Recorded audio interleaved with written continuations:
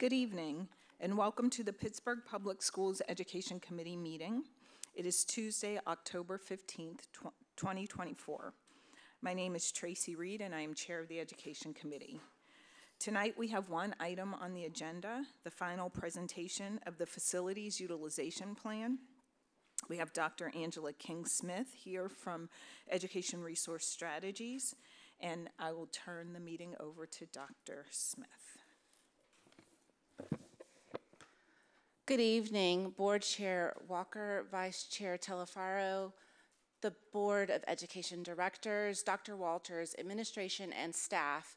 I am pleased to present the final ERS report, which will support the Facilities Utilization Plan. This plan provides a unique opportunity to rethink, redesign, and reimagine Pittsburgh Public Schools.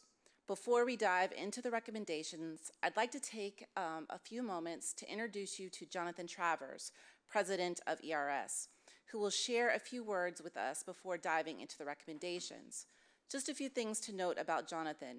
Jonathan leads the ERS Consulting Division, overseeing client services across their portfolio projects within our uh, large uh, work in uh, supporting national school districts around the country. With over two decades of experience at ERS, he has guided numerous projects in some of the nation's largest school districts.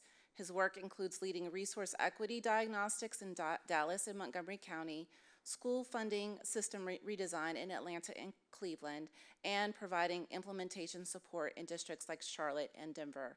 He also supports all of our CFO networks within our organization. Mr. Travers, please come forward to bring greetings and your message to the Board of Directors, Superintendent, Administration, and the listening public.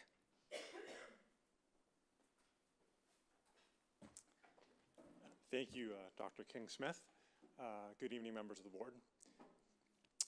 Our team's task for the last six months uh, has been to learn as much as we can about this district, its students, uh, its families, and put together a proposal to make bold changes uh, to the mix and configuration of PPS schools across the city in service of the educational needs of all students. I wanted to start by acknowledging uh, the weight of this responsibility, uh, the weight of uh, the weight of this assignment.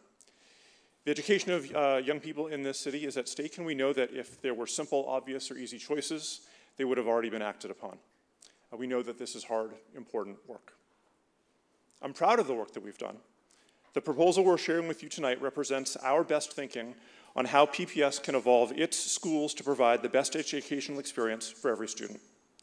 In developing this proposal over the last several months, we've tried to keep the student experience at the center of our thinking. So yes, we've absolutely listened and, close, and uh, listened closely and responded to community feedback, as Dr. King-Smith will share. Yes, we've examined the conditions of buildings and adjusted accordingly. Yes, we've looked at operating and capital costs, implications for transportation. We've looked at how potential changes would impact students with disabilities, English language learners, and economically disadvantaged students, because it's important one, and two, because we know from history that school consolidations can disproportionately impact students and communities furthest from opportunity unless leadership is really deliberate about advantaging every student. The ERS team has also learned a lot about Pittsburgh and its different neighborhoods and communities. We studied the history of school closure efforts in Pittsburgh going back a generation to try to make sure that our proposal didn't disproportionately impact primarily black communities or neighborhoods that had previously been disproportionately impacted themselves. So we've really tried to balance a lot. Think of this proposal as a solution that has, uh, to a puzzle that has seven or eight or maybe even nine different dimensions. But I want to be clear that however many different dimensions we're dealing with, we've sought to focus on student experience first. What are the configurations of schools, grade level enrollments, the equitable placement of special programs that enable the adults in every school to provide every student with the educational experience that aligns with the superintendent's vision for equity and excellence and gives each student in PPS the best chance of success. Things like richer, uh, things like richer course offerings like algebra and foreign language in the middle school, opportunities for individual attention and small group instruction, uh, stu uh, students with disabilities to be served in inclusive settings, diverse extracurricular offerings that make kids excited to come to school each day, equitable access to themed programming, and so on. So I'm proud of the work uh, that Dr. King Smith is sharing tonight, but I also have a lot of humility about the work as well. We are under no illusion that this is all things to all people. Uh, while we've heard over and over from all different stakeholders that PPS has too many seats in too many schools, that something must be done, we do not hear agreement on what that something is. In fact, uh, as Dr. King Smith will speak to shortly, different stakeholders want changes that are just fundamentally incompatible. If some stakeholders want a school to shift to K 5, and others want it to shift to 6 8, and still others want it to remain as K 8, guess what? There's no possible scenario uh, that will align with the interests of all of them. Which leads me to my point here uh, that our goal with this proposal wasn't to be all things to all people, as I said. It was, if we wanted to, that, uh, that wouldn't even be possible. It was to give, uh, give you back our best thinking based on our expertise and professional judgment of how to optimize your portfolio of schools and programs across all the dimensions I just named to best serve each and every student in each and every neighborhood in this city. As you learn uh, more about the different parts of this proposal and the rationale, you may identify uh, other alternatives or variations that you think work better. That's great. Uh, what I'd ask you to do is reflect on why you think that's the case. Consider how your alternative approaches prioritize the different dimensions. Are you weighing financial savings differently? Are you valuing the potential for improved student experience differently? Are you weighting the impact on one community or neighborhood more differently uh, than another? The most productive disagreements are often grounded in the why.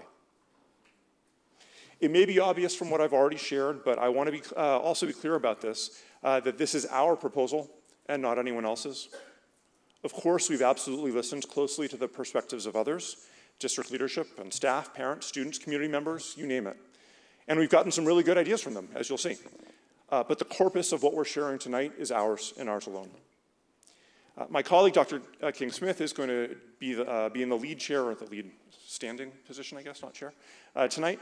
Uh, so before she jumps in, I do want to offer a final comment on process on how and, and on how tonight fits into your decision-making process. So tonight is the culmination of our process for developing a proposal for your port school portfolio, and it's the beginning of your process for understanding it, reflecting on it, and then ulti ultimately making a decision on what to do. As I said before, this is complicated stuff. Uh, many dimensions with layer upon layer of moving parts, interdependencies, and trade-offs. I've been doing this work long enough to know that it's neither realistic nor fair uh, to ask someone to come to a summary judgment on something this complex in a single night, or week, or even month. So tonight isn't about that, coming to judgment. Instead, our goal is to get as deep with you as the time and format allows tonight on the detail of this proposal. What exactly are we proposing? Why were these the choices we made? And how might it all work out? Our role tonight is not to convince or persuade or push for approval. Uh, it's rather to be as clear and specific as possible about our proposal, the reasoning behind it, and what we think it'll take to implement it effectively. As stewards of this institution and stewards of the hopes and dreams of the students and the families that this institution serves, I know you've got a big responsibility. Uh, and we aspire for our analysis and the proposal we present tonight to effectively serve you in delivering on that responsibility for the families you serve.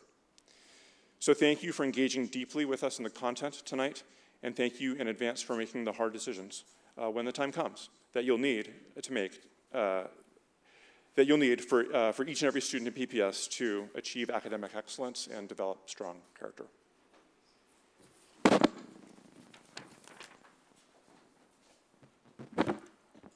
Thank you, Mr. Travers. Now I'll get into the actual proposal. Um, we have a lot of content to go through tonight, and so I recognize that I will be talking probably pretty fast. Ms. Smith, um, but I want to make Dr. sure that Smith, we get. I'm sorry. I think one of your computers has the volume on, and it's getting us double feedback. So all the computers should be muted and volume down. And if that's not it, then we'll ask Dave how to fix it. I think it's the TV. It's too. Oh, there we go. Thank you. Sorry about that.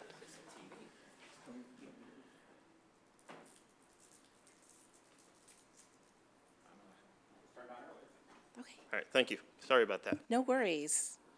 All right, now can No echo? We're good now, okay. All right, so tonight I will be covering a lot of content uh, very quickly. Um, Let's see here. There we go. So here's our agenda for this evening. It will roughly take me about 90 minutes, or at least I am very hopeful about 90 minutes. It's a lot of content, um, maybe um, a little more or a little less. Um, we have a significant amount of information to share with you this evening, and to get through all the content, I will need to present the information in an abbreviated fashion. There are about 200 or so slides. I will not be covering all of those. Many of those will be included in the appendix to be able to refer to if you have uh, any sort of Q&A. Throughout this presentation, I ask that you write your questions down so that when we get to the end, um, I can be able to address those questions. Um, like I said, we have a streamlined set of slides um, that we'll be covering, and um, the total time is around 90 minutes or hopefully a little less. The key questions the presentation will answer this evening is, one, what did we learn from stakeholders? Two, why is it important to change and in what areas? Three, what are the final recommendations for school changes? Four, what are the impacts to transportation and financial considerations? And lastly, how should this be phased over time and key considerations for the district? We began this work several, several months ago. Our shared goal was to advance the community's collective vision for equity, excellence, and efficiency through changes to the design of the school portfolio. This plan is focused on improving the educational experiences for all students with inclusive and supporting learning environments. On the screen, you'll see at the end of the day, we believe that this plan will provide eight major benefits. One, we believe it will build a robust student experience as a part of grade configuration changes. Two, we believe that it's going to be essential that we integrate K-5 and 6-8 gifted and talented programming into local schools. Three, it's going to be essential that we expand ESL regional sites as well as support students with exceptionalities or disabilities to improve accessibility. We also want to make sure that we're expanding academic programming and course pathways throughout the district. Another additional thing that is important to this plan, as you all have heard a lot about, is implementing renovations and upgrades to facilities. Also, we think it's going to be important to change the magnet programming across PPS. We believe there needs to be a focus of magnet programming only at the secondary level. And lastly, we also want to make sure that you have the spaces you need to support pre-K access. Improving equitable access and driving excellence in schools creating efficient and modern learning spaces are the top three priorities and serve as foundation for the school changes and recommendations that you're going to hear tonight. We believe that those three foundations or priorities are required to achieve our collective goal. On the screen, you'll see these priorities, and throughout, you'll hear more about why they're an important foundation to this work. Now, let's take a few minutes to share what we heard and learned from stakeholders throughout the stakeholder engagement process. This is a reminder that some of the themes from the stakeholder engagement report that we heard during the initial phase, um, we're going to share with you what we heard in this phase. For complete details, you may refer to the appendix for more information, or um, if you've got questions at the conclusion of this presentation, I'll be happy to address any questions that you may have at that time. As many of you know, stakeholder engagement was instrumental to the work that was completed over five and a half months. We com completed thousands and received thousands of inputs alongside other data and information to inform our recommendations, and we want to thank all the parents, students, staff, community members, administrators, community organizers for participating and providing input or feedback throughout this process. Your feedback was instrumental in anchoring our work around the kind of student experience we want for ensuring the recommenda for making sure that those recommendations are centered on that. Uh, we will make and reflect on the needs and aspirations of students based off of that information. It helped us to shape our final recommendations. I recognize that this level of community un- engagement was truly unprecedented in PPS, and I believe that it reflects a shared commitment to building a brighter future for all students. It's also important to note that this, pro- this process, as Jonathan mentioned, required us to contemplate lots of information. On the screen, you can see nine different pieces of information that we were weighing and balancing throughout. So I want you to keep in mind that community and stakeholder feedback is one of many factors that we took into consideration as a part of the analysis to inform the final recommendations. On this slide, you'll see we utilized a variety of different methods to gather feedback regarding the uh, initial proposals for school changes in PPS. And over the next three slides, you'll see all of the community engagement that was executed. We had thousands of data points, as I mentioned before, throughout the course of this project to inform our final recommendations.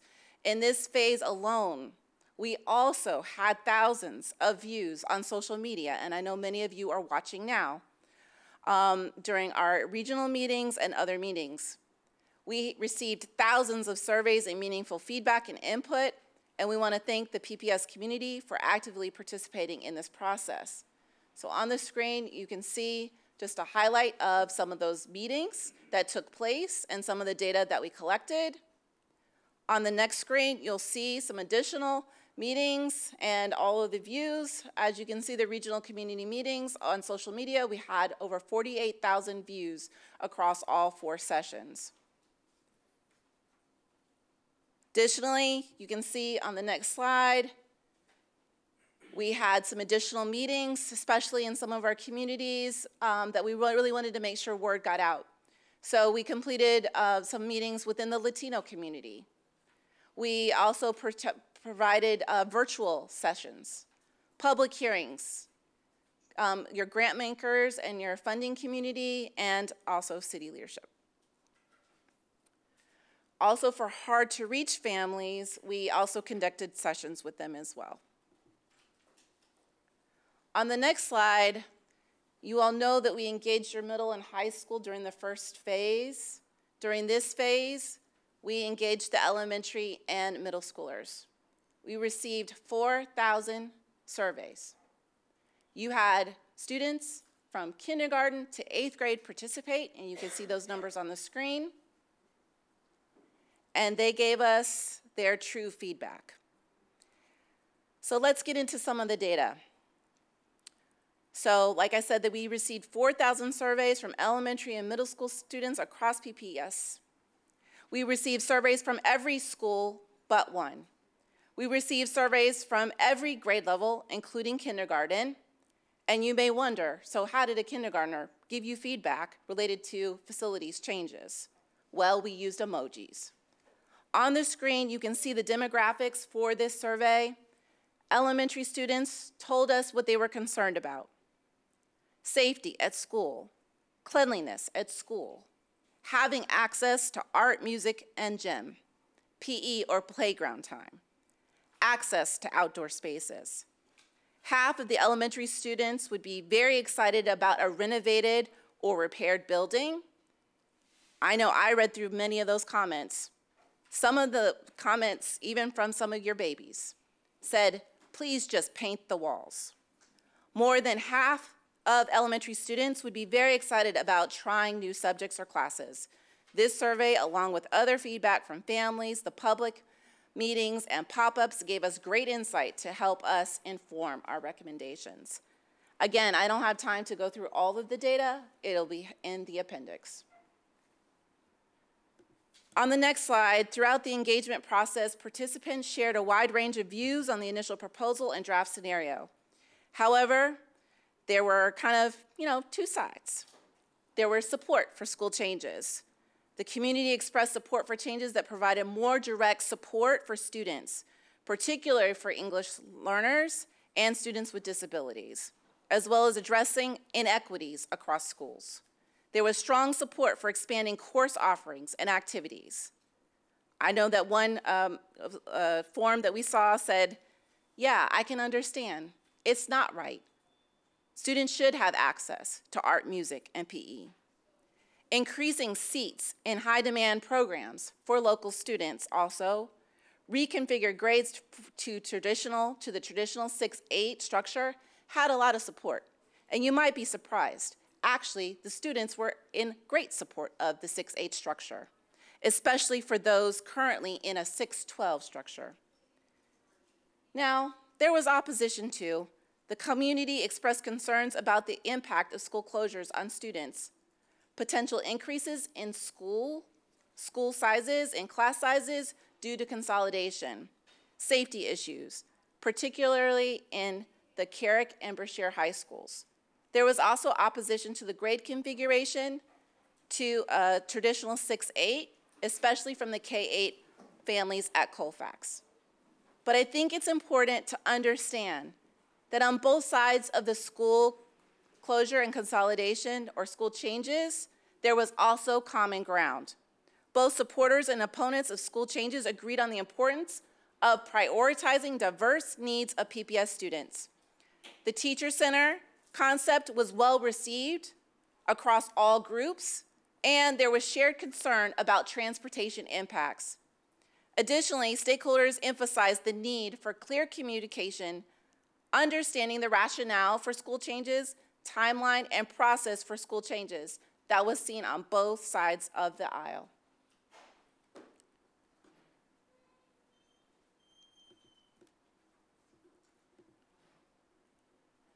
All community feedback was carefully reviewed and incorporated into our analysis, and with many suggestions reflected in the revised scenario and recommendations that you'll see shortly.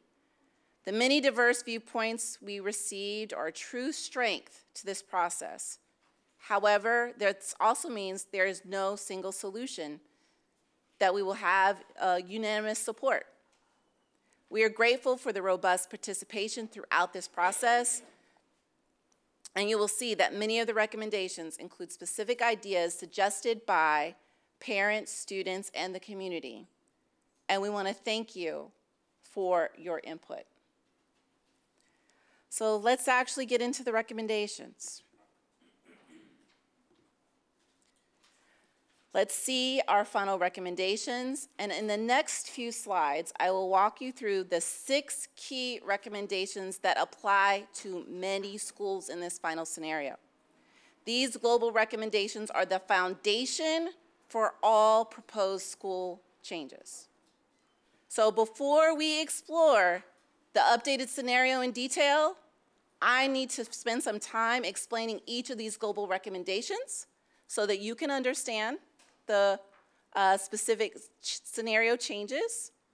This data also supports the recommendations that we made and our rationale for these significant changes. So the first global recommendation is focused on improving change or driving change at the magnet status of schools to reflect the district's vision for academic offerings at each grade level. We um, have broken this recommendation into three parts. So around the magnet status, we've got three little sub-recommendations, if you will. The first one is around discontinuing most or all K-5 magnet programs to emphasize consistent foundational programming in all K-5 schools.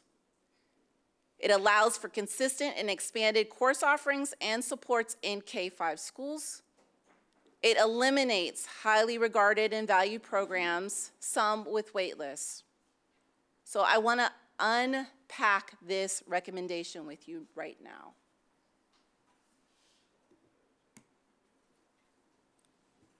I think one of the huge misnomers is that magnet schools are the only way to offer specialized academic programming at the pre-K through 5 level. That is a misnomer. Um, I know that's the way it's been done quite some time in PPS, but are, it is not the only way to offer specialized programming.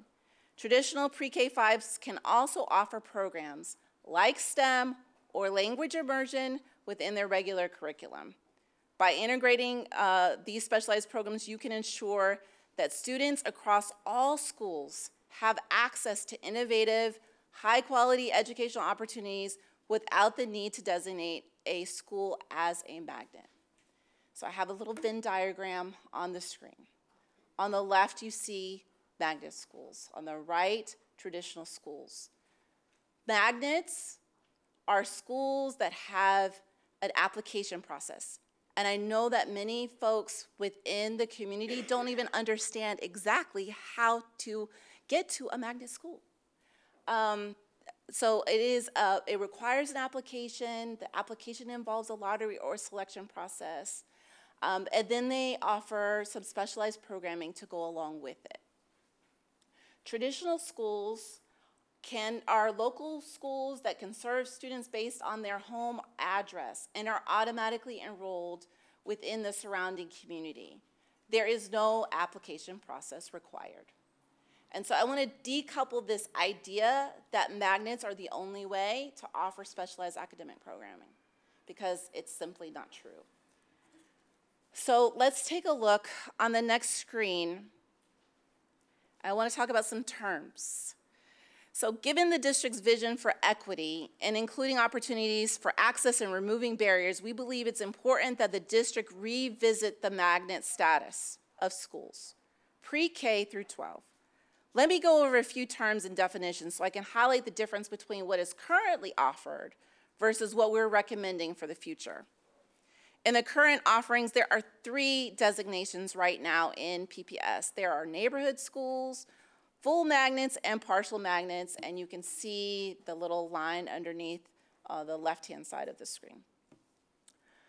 Neighborhood schools serve as students who live within the neighborhood school attendance zones. Your full magnets are schools where the magnet theme applies across the entire building. They do not have a neighborhood feeder pattern, and students must apply to attend these schools. Partial magnets are neighborhood schools that also accept st students from across the district and have a focused magnet program or overall school theme. Now, the magnet or the theme programming is not guaranteed to be offered to the entire school. That means that some schools may only provide programming to select students who formally enrolled in the magnet program. Other schools may provide programming to all students. So it just varies. We are recommending that PPS discontinue partial magnets given the district's goals around improving equity and access. We want to recommend the creation of a new term, neighborhood magnets, which are schools that enroll students from across the city and provides quality programming while guaranteeing seats for students within the local neighborhood. Unlike partial magnets, um, that you have today, these neighborhood magnets would ensure that all students in the building, wall to wall, have access to the same programming. When we uh, review these school changes later in this presentation, I will share which schools we recommend move their current magnet status, whether it's partial or whether it's full, um, to a different status. So you'll learn a little bit more in the future. Now, one of the things I think is important to also understand and where we did our research, there's significant variation in the demand across the district's magnet schools. Now, you may think, and I think it's also a misnomer, that all the schools are in high demand. That's not true. Um, and so on the screen, you can see every school across the district and the number of open seats, which is the blue, and the number of applications, which is the green. So reviewing the data from the last three application cycles for magnets, we noticed a few interesting trends. One, the chart shows, um, like I said, those number of open seats and the demand for those seats. And how we think of demand is if there's at least two applications for every one seat. Um, that's what we'd like to see. The not so ideal situation is to have the green bar less than the number of available seats. In those cases, you have empty seats or lower enrollment at those schools.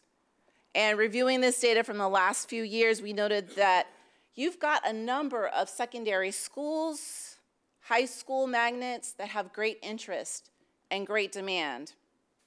A number of your elementary magnets don't have the same level of interest and oftentimes have difficulty filling their open seats. There is an exception to that, and that is the Montessori pre-K 5.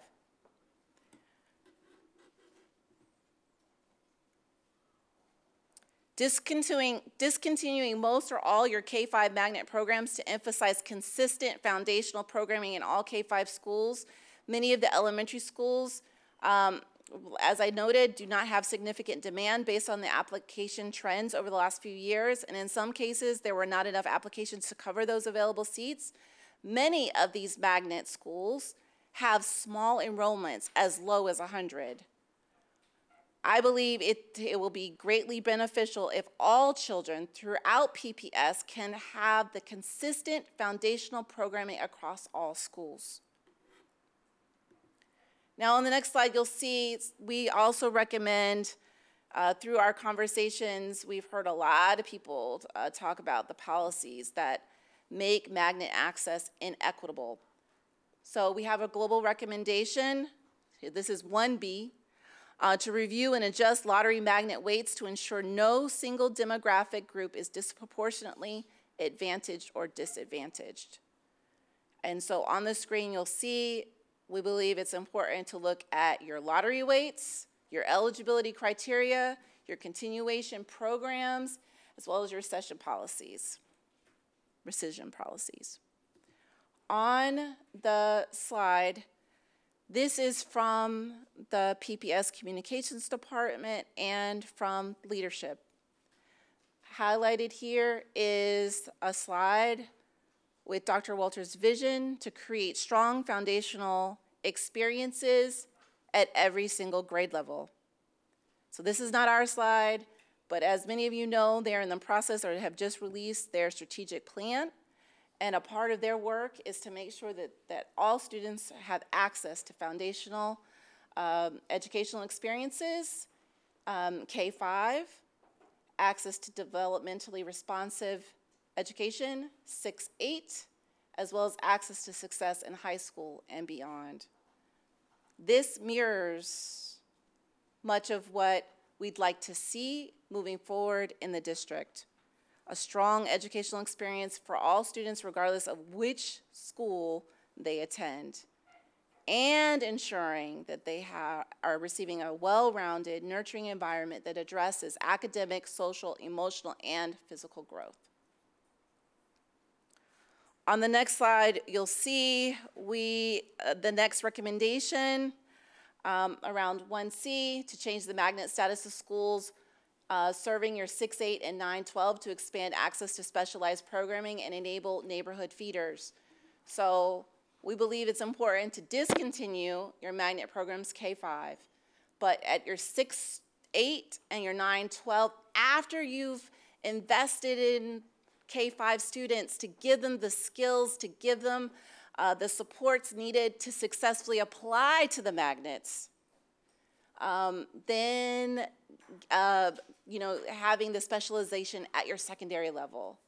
So you'll see a few changes that we are going to get into in a moment, um, but we think it's important that the specialization happens later, after they've had music, art, and PE, and some of the other things that they need to actually successfully apply to programs. On the next slide, you think, you'll see that we also um, believe it's important to create more consistent grade configurations to enable developmentally appropriate supports and consistent K-5 programming and transition grades. This allows to, for that developmentally appropriate supports. It also ensures that there can be consistency across schools and emphasizes the consistent foundational programming and resources. So we think this is important at, uh, across the, the district. So let's talk about your regional ESL sites. We believe it's important to add more regional ESL sites for across the board, but especially in the north where there is a growing EL population. Over the past decade, the district has experienced growth in your ELL, your EL population, increasing um, from 557 students back in 2011, 2012 to um, in 2023, 2024, you had 1427. So 1,427 students. We also believe it's important to look at how to relocate your programs for students with exceptionalities to enhance accessibility and to better serve student needs. Um, because again, this is another uh, growing um, populations, which is now represents about 23% of your total student population.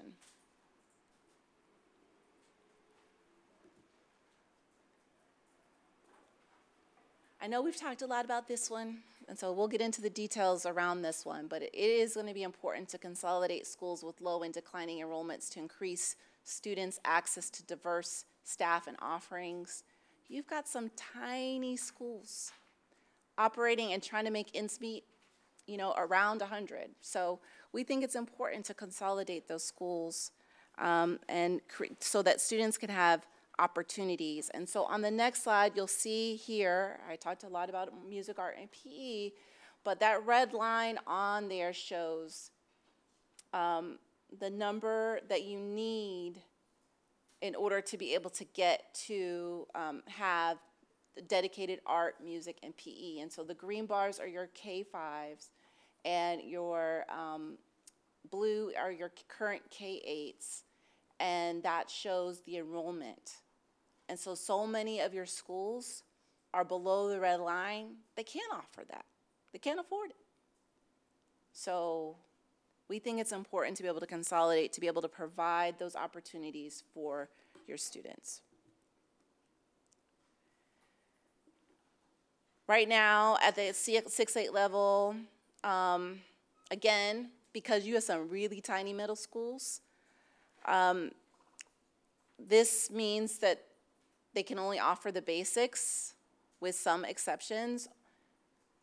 This is just a reminder, only 13 out of 23 middle schools offer algebra, which is a critical gateway grade for higher level mathematics for high school, um, and then to be able to go on to a path towards college.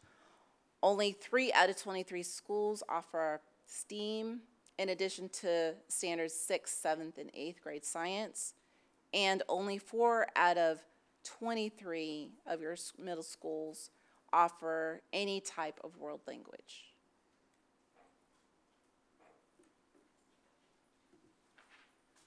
Global recommendation five is to renovate school buildings to accommodate larger schools and to ensure access to state-of-the-art amenities. We believe it's important to expand the physical footprint of school buildings where there's opportunities. Um, to one, adjust for uh, growing enrollment and changes uh, in, in school configurations, to continue adding air conditioning to every school building, um, and to add dedicated spaces um, for a range of grade appropriate learning activities, including art, music, career and technical education spaces, science labs, and dedicated uh, cafeteria, libraries, and gyms. Then finally, we think it's important to repurpose uh, available space to support community partnerships and professional learning. And as we talked about in our previous August 13th proposal, we believe adding three teacher centers across the district can really support professional learning and growth for your staff. One for elementary, another one for middle, and then lastly for high school grades 9 through 12. Creating that dedicated space will allow for that professional growth. And then also finding space to, for, to partner, uh, partner in services to support schools and students. Then lastly, as I mentioned before, we think it's important for renovations Last year, I believe you had five heat days because of the, the temperature. And when we look at the total number of schools that don't have air conditioning, um, that's about 60% of your students are impacted when there are heat days. And then my understanding is that you've had about two or half days this year. So it's going to be really important to um, continue investing in the infrastructure upgrades across the board. So those are the major global recommendations. I'm going to take a moment to put on the screen so beyond that student experience, uh, beyond the student experience, what factors were considered uh, when determining the final recommendations for school changes? And these are all on the screen. We looked at both low and declining enrollment. We looked at the building capacity, the location of schools and where they are and where students live. Um, we also looked at if there was possibilities for changes to um, a particular community. We looked at historically marginalized communities, and we studied, as Jonathan mentioned, we went back several decades understanding when uh, school uh, changes had occurred in the past. We looked at the facilities assessment report that was completed by the district. Um, we, as I mentioned, we looked at prior closures and where they were located.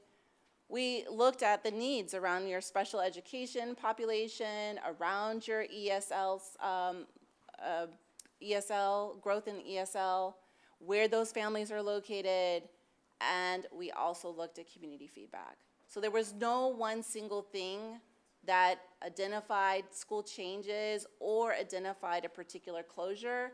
Rather, we looked at all these factors for each region to weigh out the pros and the cons for each one.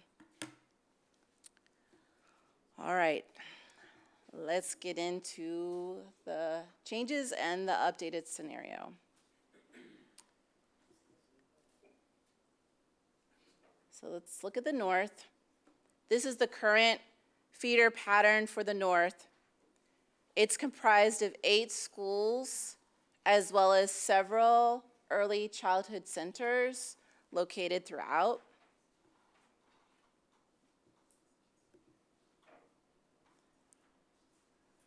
Here's our recommended changes for the North. We're recommending the following organization of schools. One, uh, three ESL centers, one uh, pre-K located in the fully renovated building in the North View building. I'll talk about that in a moment.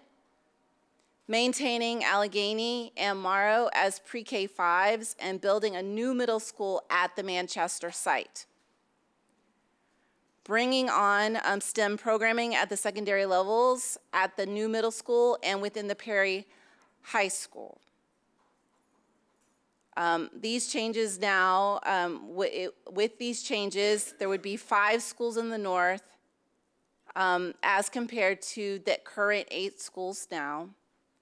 We would recommend that the following schools close due to very small enrollments. Schiller at 225 students, Spring Hill at 125 students, and closing King with, um, and closing King, which shifts with additional shifts to attendance zones. So we heard a lot of community feedback highlighted um, regarding some of the locations, but we heard a lot of feedback regarding King. Um, regarding safety and security concerns around King. The K-5 students would attend Allegheny from, from King, which is in close proximity to the current King site and would not require significant increases to transportation times for those students. Additionally, the King space could be used as a swing space to house students during renovation, which significantly decreases construction time for the new facilities. The proposed map is on the screen based off the recommendations that I just covered. And now I want to talk about some of the specific locations within this area and within the north. So some of the rationale um, for having the district-wide shift to move away. So part of what you're gonna see on the following slides is that grade configuration was applied here. So um, the district shift to move away from the uh, co-location of a K-5 and a 6-8 in the same building. So we needed to separate that out to provide uh, developmentally appropriate supports. Allegheny Pre-K 5 is a very strong, one of the district's highest performing pre-K 5 schools across student groups. So it's not just one student group that's getting really great education. All the students that are attending there, when we look at the sub, uh, sub, sub demographic data. So maintaining and expanding this school increases the quality of programming to um, families in that area. The King Building um, would be looked at as an alternative option in this area. However, which we really did look at that, but based off of community feedback, it really highlighted some of the safety and security concerns surrounding that building. Manchester. So the existing Manchester would close. It, as you can see on the screen, has low and declining pre-K enrollment, but the building offers promise and sufficient space to increase capacity and renovate facilities for a full 6-8, for a full 6-8 middle school. We know that there are charters in that area and some other schools, and we believe that this, by establishing a strong 6-8 in a brand new, fully renovated building, could attract families back to the district. There is a growing population of EL uh, learners, and spe uh, specifically in this north. So adding a regional ESL at this brand new renovated building would improve access to services and support. Um, and so I think in the original August 13th presentation, we were looking at um, potentially moving uh, or having so another school here. Um, but we think that this is like the best option for the families in this area and um, bringing on a brand new middle school at that Manchester site. There is access behind the building for fields and other things, so we would make sure that that would be included within this. So community feedback highlighted the importance of having a K-5 option east of Route 279. The current K-5 option in this area, Spring Hill, presents significant capacity constraints. So this is another brand new building that we are recommending.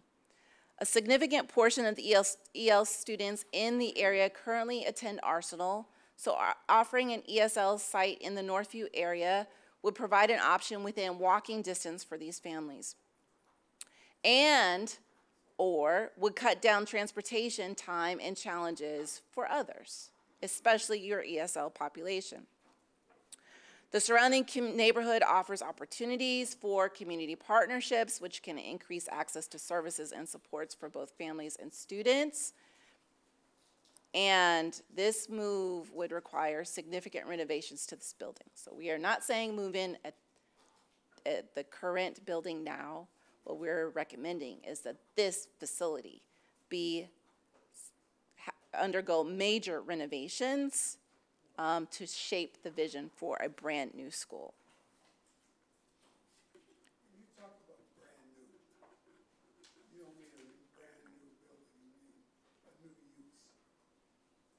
No, sir. I mean a renovated, a major renovation overhaul on the building. And so in the north, um, we, in terms of the summary of additional programming in the north, there would be a STEM pathway from Manchester to Perry. Regional ESL sites open in Manchester, the new Manchester Middle School, Perry 912, and the new Northview site. So um, the other thing I just want to stress before I go into this next set of schools in the South um, is that you'll see our proposal centers on regional high schools. regional high schools, and making sure that there's a clear feeder from the middle to the high school, and that the, there's continuity and programming from the middle to the high. Something different than what you have right now, but it is at the center of this proposal. So let's take a look at the south and the west. There are 12 schools in this area, and there are a variety of school types. So on the screen, you can see um, all the schools that are in this area, including some full magnets, early childhood centers, ESL locations.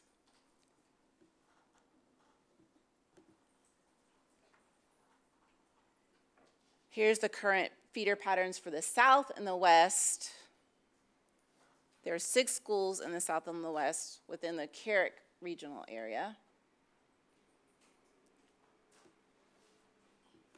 Let's get into the changes and what we're proposing and recommending. We're proposing the following changes. One, we're proposing two feeder middle schools for this area.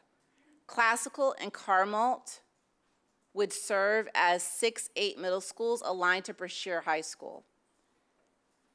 This proposal on the screen includes 10 schools, and we would organize the schools focused on the following changes. One, South Hills would close, and the current magnet programs at Classic and Carmalt would be changed to neighborhood magnets. These schools would move from full magnets, guaranteeing uh, seats um, to ensure that every child in the neighborhood has a seat. Additionally, four ESL regional locations would support ESL families in this area. An ESL center would be added to Carmalt. And the early childhood centers would be located at Langley, Whittier, Brookline, and Beechwood. You may be wondering about Grandview, so let's take a look. Grandview would be one of three elementary schools aligned to Arlington Middle School and Carrick High School. Arlington now, a pre-K 8 would shift to being a 6-8 middle school. This area would maintain all the early childhood centers and ESL center. The pre-K uh, 5 located at Roosevelt would close. However, the early childhood center would stay at the primary building. The total number of schools would be five. Now, I know, and I can hear them over social media. In our previous August 13th presentation, I know we were contemplating changes at Carrick High School. After close examination, hearing from the students and the community, and reviewing additional information, we decided to change our recommendation for this area. Um, so we are not closing Carrick High School. Again, our proposal centers around regional high schools. So Carrick as a regional high school is important to this model. The district should continue and implement CTAE programs along with rigorous college preparatory curricula in the district in the regional high schools. The executive director of CTE or Career and Technical Education, Angela Mike, has vast knowledge and recommendations for how to expand CTE programming in PPS. Additionally, to be in alignment with other district high schools, a magnet pathway would be opened up at Carrick High School. And this should provide a continuation of programming from the middle school to the high school. So programming would need to be determined for Arlington and Carrick around that specialization piece. Here's a map of how those proposed schools would lay out. And let's talk about a few of the changes and why we decided to make those changes. So at Carmalt, the district shift would be from K-5 to 6-8 programs to provide better developmentally appropriate supports to students. Again, we applied the K-5 to 6-8. We had to have some middle schools um, and nice-sized middle schools in order to be able to offer the programming that students deserve. So hi highly regarded STEM programming will be retained, through um, the STEM programming. Access will be increased to neighborhood students for those students living in that area. There's a growing number of EL populations, so adding regional ESL sites in the southern region would improve access to supports and services. And Carmalt has amenities more suitable for middle school. So they got a separate cafeteria and gym and auditorium, and recently um, updated AC. Arlington. Again, K-5, 6-8 split to provide developmentally appropriate supports to students. There are a lot of students currently living in the surrounding Arlington area, making this ideal location for the 6-8. So they're already there. They can just go to school right there. Building has suitable amenities for middle school, gym, cafeteria, auditorium, and it also has a field behind for middle school athletics. Roosevelt has low and slightly declining enrollment, um, which provides a challenge for offering a full and robust K 5 experience for students. However, we know that there is a really great early childhood center, and um, the Roosevelt Primary would become an early childhood center, um, while the intermediate building can be utilized for specialized programs. I'll cover that in a moment. Here's a summary of some of those changes around specialized middle school focus at Arlington, Carmalt, and Classical, more regional ESL science, one opens at Carmalt, neighborhood magnets added at Carrick to be consistent with the other high schools, and Roosevelt becoming an early uh, childhood center. Let's get in to the east and central. Here's the current map. There are seven in the Milliones um, area. There are seven schools, five early childhood centers. Alderdice, nine schools, three early childhood centers. Westinghouse, there are four schools and three early childhood centers. And this area has some magnets. So we'll talk about those magnets. It's home to several magnets, and so we're going to talk about some of those changes. Okay, let's start on the right-hand side of the slide first. The Alderdice feeder is mostly about grade configuration changes. At the high school, Alderdice has no changes. Colfax would be a middle school and would transition from a K-8 school to a 6-8 school. Students in grades K-5 would attend either Greenfield, Liberty, or Minadeo. K-5, um, and so this allows for that specialized academic programming, make sure that they're getting the classes that they need in order to be competitive in high school, um, and also, your Mifflin uh, would transition from, Greenfield and Mifflin would transition from a pre-K 8 to a pre-K 5. The students at Mifflin that are in 6-8 would attend Colfax. There would be um, ESL students, uh, ESL uh, programming at Colfax.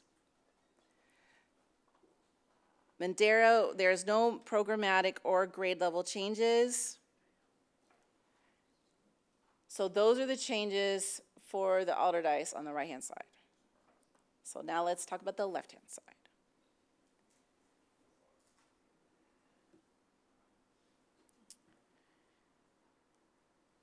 Okay, so your Obama, which is a full magnet now, would transition and it would the grade configuration would go from a 612 to a 912.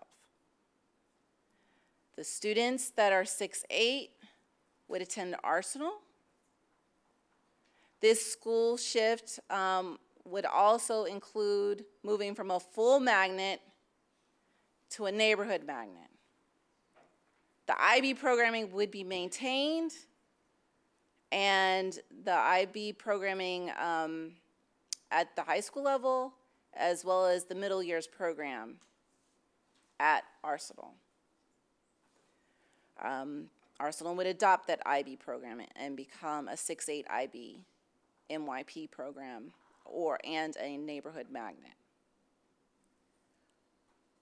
While Liberty and Sunnyside would be the K-5 schools for this feeder, Woolslayer, Miller, and Arsenal PK5 schools would close.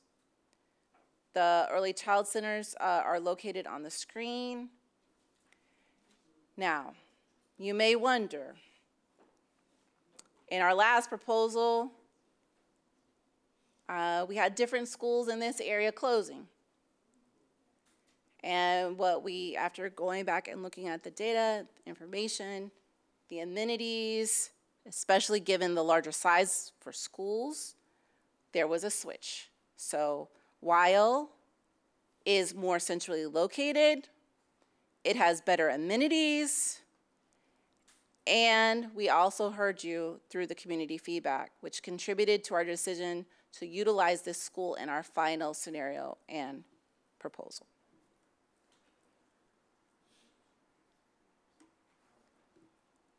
Westinghouse. Westinghouse would be reorganized into a 912 high school. It would transition from a 612 to a 912. Your 6-8 students would attend Sterrett.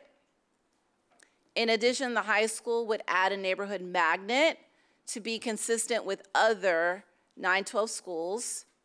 Sterrett would become a neighborhood school and would develop a specialized academic program for the school. Dilworth, which I know is a full magnet now, our recommendation has that it would become a neighborhood school. Remember, they can still maintain the same academic programming without the magnet status. Lincoln and Faison, there are no changes. Fulton Pre-K 5 would close, and the Pre-K um, 5 students would attend Dilworth. So Fulton Pre-K 5 closes, those, those students would uh, be assigned to Dilworth. The Fulton Early Childhood student, students would also attend Dilworth. The Crescent Center would um, be maintained. Um, there is no change there.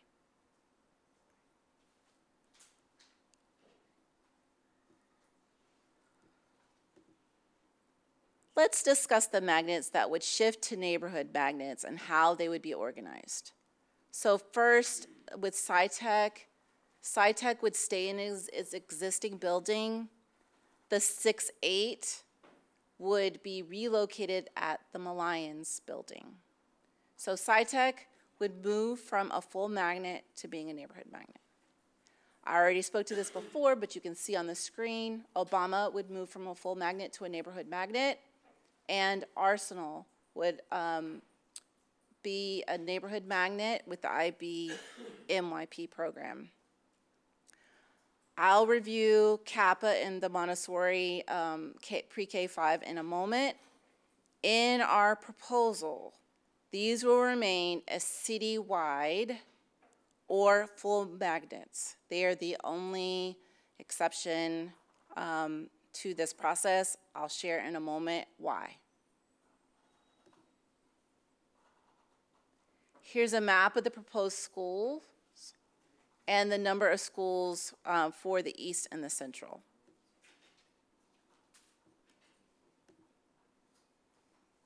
Let's talk about Colfax. It would um, you know, again, we are separating the K-5 and the 6-8 programs to better provide developmentally appropriate supports to students. Um, Minadeo, Greenfield provide nearby options for current K Colfax students in the south section of, of this. Um, and so of the current Colfax zone, while Liberty provides a nearby option for students in the north section. Colfax has suitable facilities um, to be a 6-8 it, it has the gym and the cafeteria and the lab space for a middle school. There is no other building in that area that is appropriate. So it is the only choice if you're going to have a middle school. Um, Westinghouse. Um, district-wide shift for the 6-8 to the 9-12, so that, you know, like I said, there is strong support to have Westinghouse retain the 9-12 grades. Sterrett is just over one mile away, making it the closest middle school for 6-8 students, and um, currently offers strong CTE programs or career technical education programs, and a neighborhood magnet can increase available offerings and provide more opportunities for students.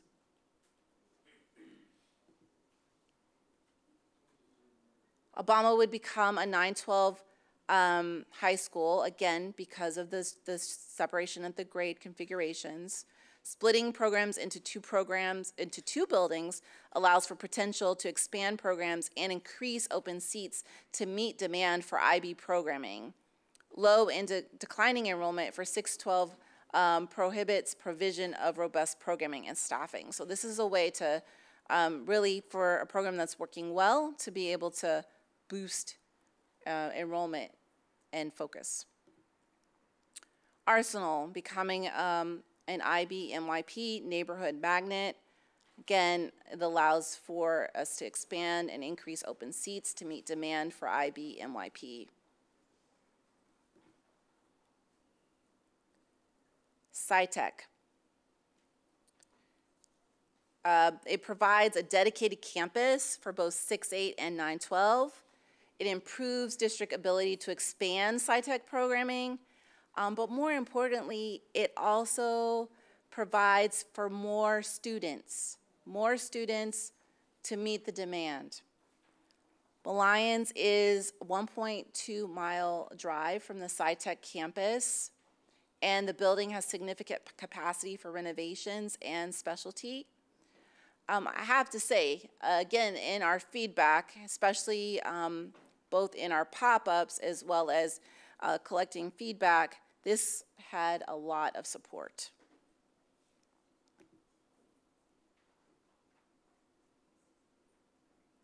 Oh, sorry, I didn't click the slide. Okay, let's go to this slide. Sunnyside would become a pre-K uh, school and a regional ESL site um, to be able to serve the students in that area. This building also has the capacity to take on additional students from Arsenal and Woolslayer.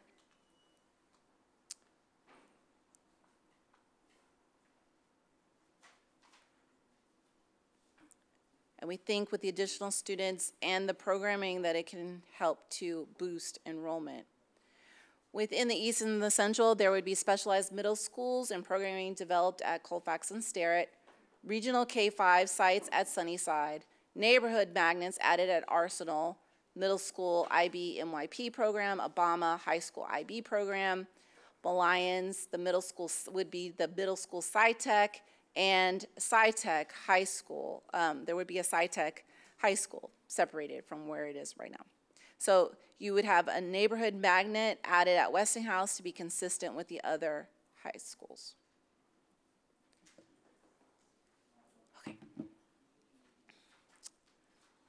Let's get into the other or the full magnets. I told you we would come back to CAPA. Let's do that. Maintaining full magnet status and six in, within the 6 to 12 grade configuration. Um, CAPA is a very, very, very specialized program. And when you all built the facilities, it was extremely expensive.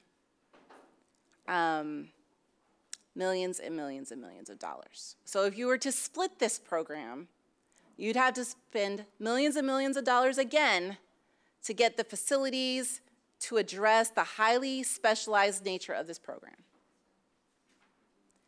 There are places in this district that need investment and they need it now. This is not the place, the time, it's expensive to split this program.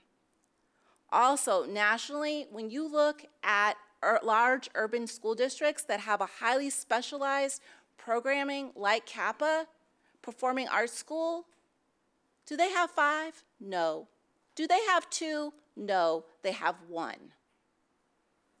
So this specialized space that's been created at the current CAPA location should remain. Specialized spaces and amenities are all throughout the current CAPA location. They have the staff required for programming arts curriculum that's shared between the 6-8 and the 9-12. Renovating another building for a separate 6-8 would require significant investment. Building is centrally located in your cultural district and has access to public transportation. And so if this is something the district really wants to do, I suggest that it's deprioritized until after the investment is made in other communities that need the investment now.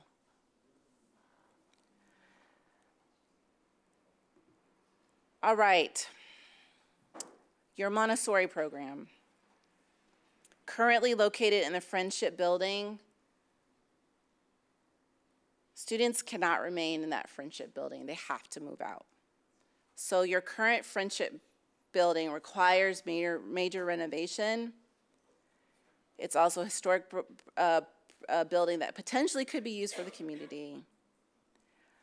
Um, so what we're proposing is that this program move to the Linden Building. Now, some of you might say, yeah, but why? Why do they get to keep their pre-K uh, through five full magnet versus the rest? Well, I want to remind you to go back to the beginning of the presentation regarding that demand. It is the only pre-K through five that has more applications and more demand than any other elementary school. They have three times the current enrollment for every open seat. No other school has that level of demand. Given the unique nature of Montessori programming, this should remain a full magnet um, with changes to enrollment policies.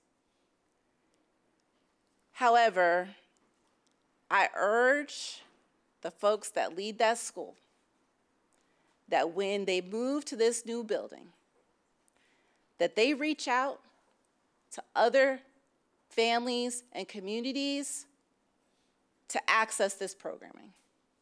A lot of people don't know about your program, and so it's, there's a lot of misconceptions there.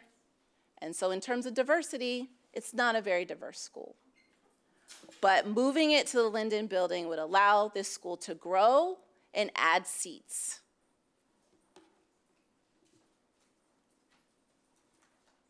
So some of the schools I have not talked about, attendance zones or enrollment changes, enrollment lines. And so let me talk about it now, because some of y'all might be wondering, so what does this include in terms of some of those zone changes? Where can I find this information? So some of the school grades and configure reconfigurations included in this proposal require changes to be made to current attendance zones.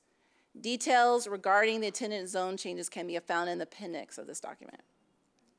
Here you will see notes regarding our assumptions around what needs to happen for each of these um, schools and the school changes uh, to drive our work. In this presentation, we'll be detailing these attendance zone changes at a high level, at a high level.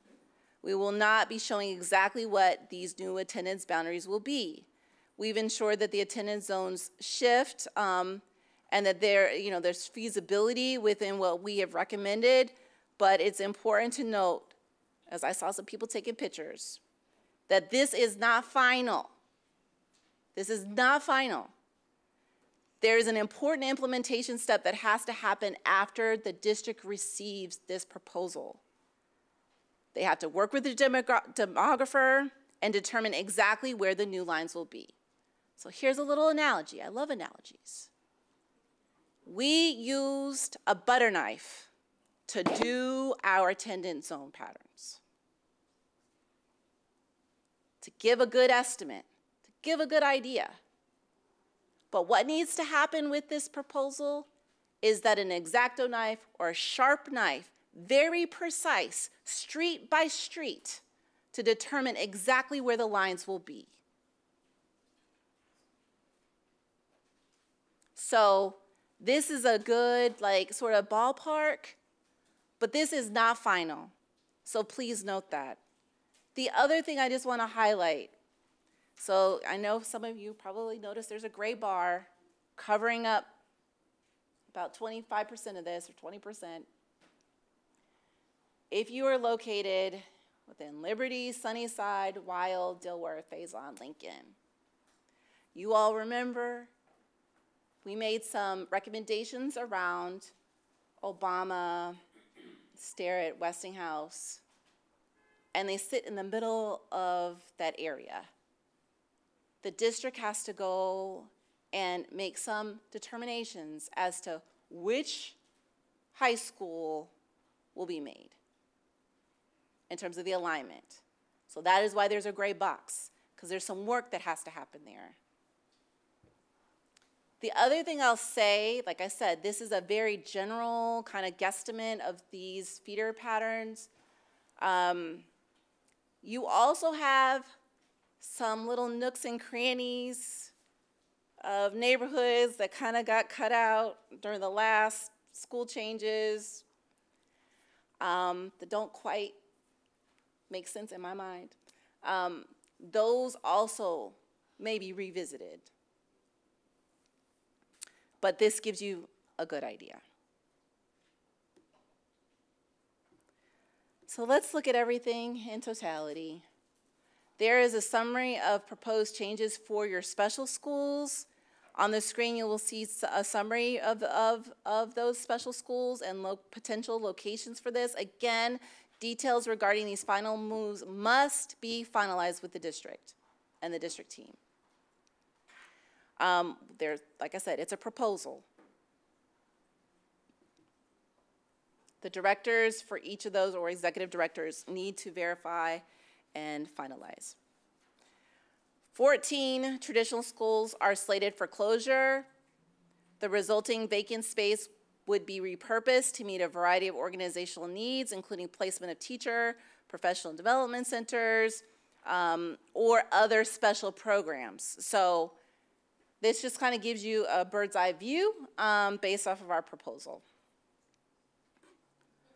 On the next slide, you'll see um, there are three special schools slated for relocation as a result using those vacant spaces. Again, up to the district to finalize, but again, this is our initial sort of proposal.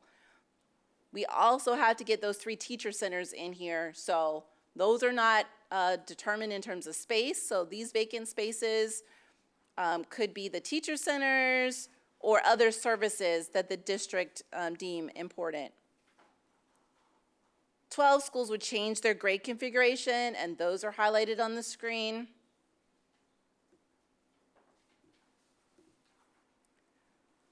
Full magnets would phase out and become neighborhood schools. You can see those on the screen, and we talked through many of them.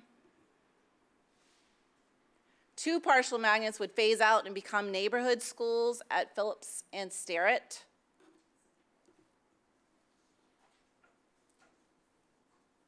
and three new school buildings, or three new schools. School buildings would be at Norton, brand new school buildings would be at Northview and Manchester. Major renovation, tear down the walls, start all over again. Well, maybe not tear down the walls, um, but major renovation. And then at SciTech also would be a new school, Emma Lyons. Now, we talked about in our previous presentation a little bit about so which students would be impacted? What's the percent of students that would be impacted by this proposal or scenario? It is slightly lower. So for those who, of you who had um, the number of impacted students from the previous August 13th presentation, it is slightly lower.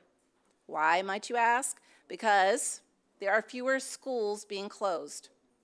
The total number of students um, um, is lower, and another thing I want to highlight, the minimal number of students who are impacted by school changes is just that. It's a minimal impact. If there are questions around the detailed methodology with this, I'm happy to go over that. but we really, really looked at all the students um, and where they currently attend uh, in their, their neighborhood school, in their attendance zone, where they currently live. And then we looked at a couple of uh, different exceptions. And then we looked at, based off of the assumptions we made around our attendance z- zones, um, and where students would be assigned, who would be impacted by the changes that we recommended. Um, but again, the percentages here represent all students that would be moved based off of, you know, either the grade configuration changes or the physical school changes. As the data denotes here, fewer, fewer schools would require moderate or major renovation costs. And so Jonathan is about to come up and speak about the financial and the transportation impacts. But I think it's important to note here, if you've got fewer schools, then it's less work or money that has to be spent. Um, the two schools in need of major renovations, as I mentioned before, are your Manchester and your Northview. So what I want to show the map. I'm going to ask Jonathan to go ahead and come up. But here's the map of all the traditional future schools, the numbers at each level in terms of the school types, um, so that you can have sort of a bird's eye view of what the map of the, the of what the future schools would look like with all the changes that we just covered. All right.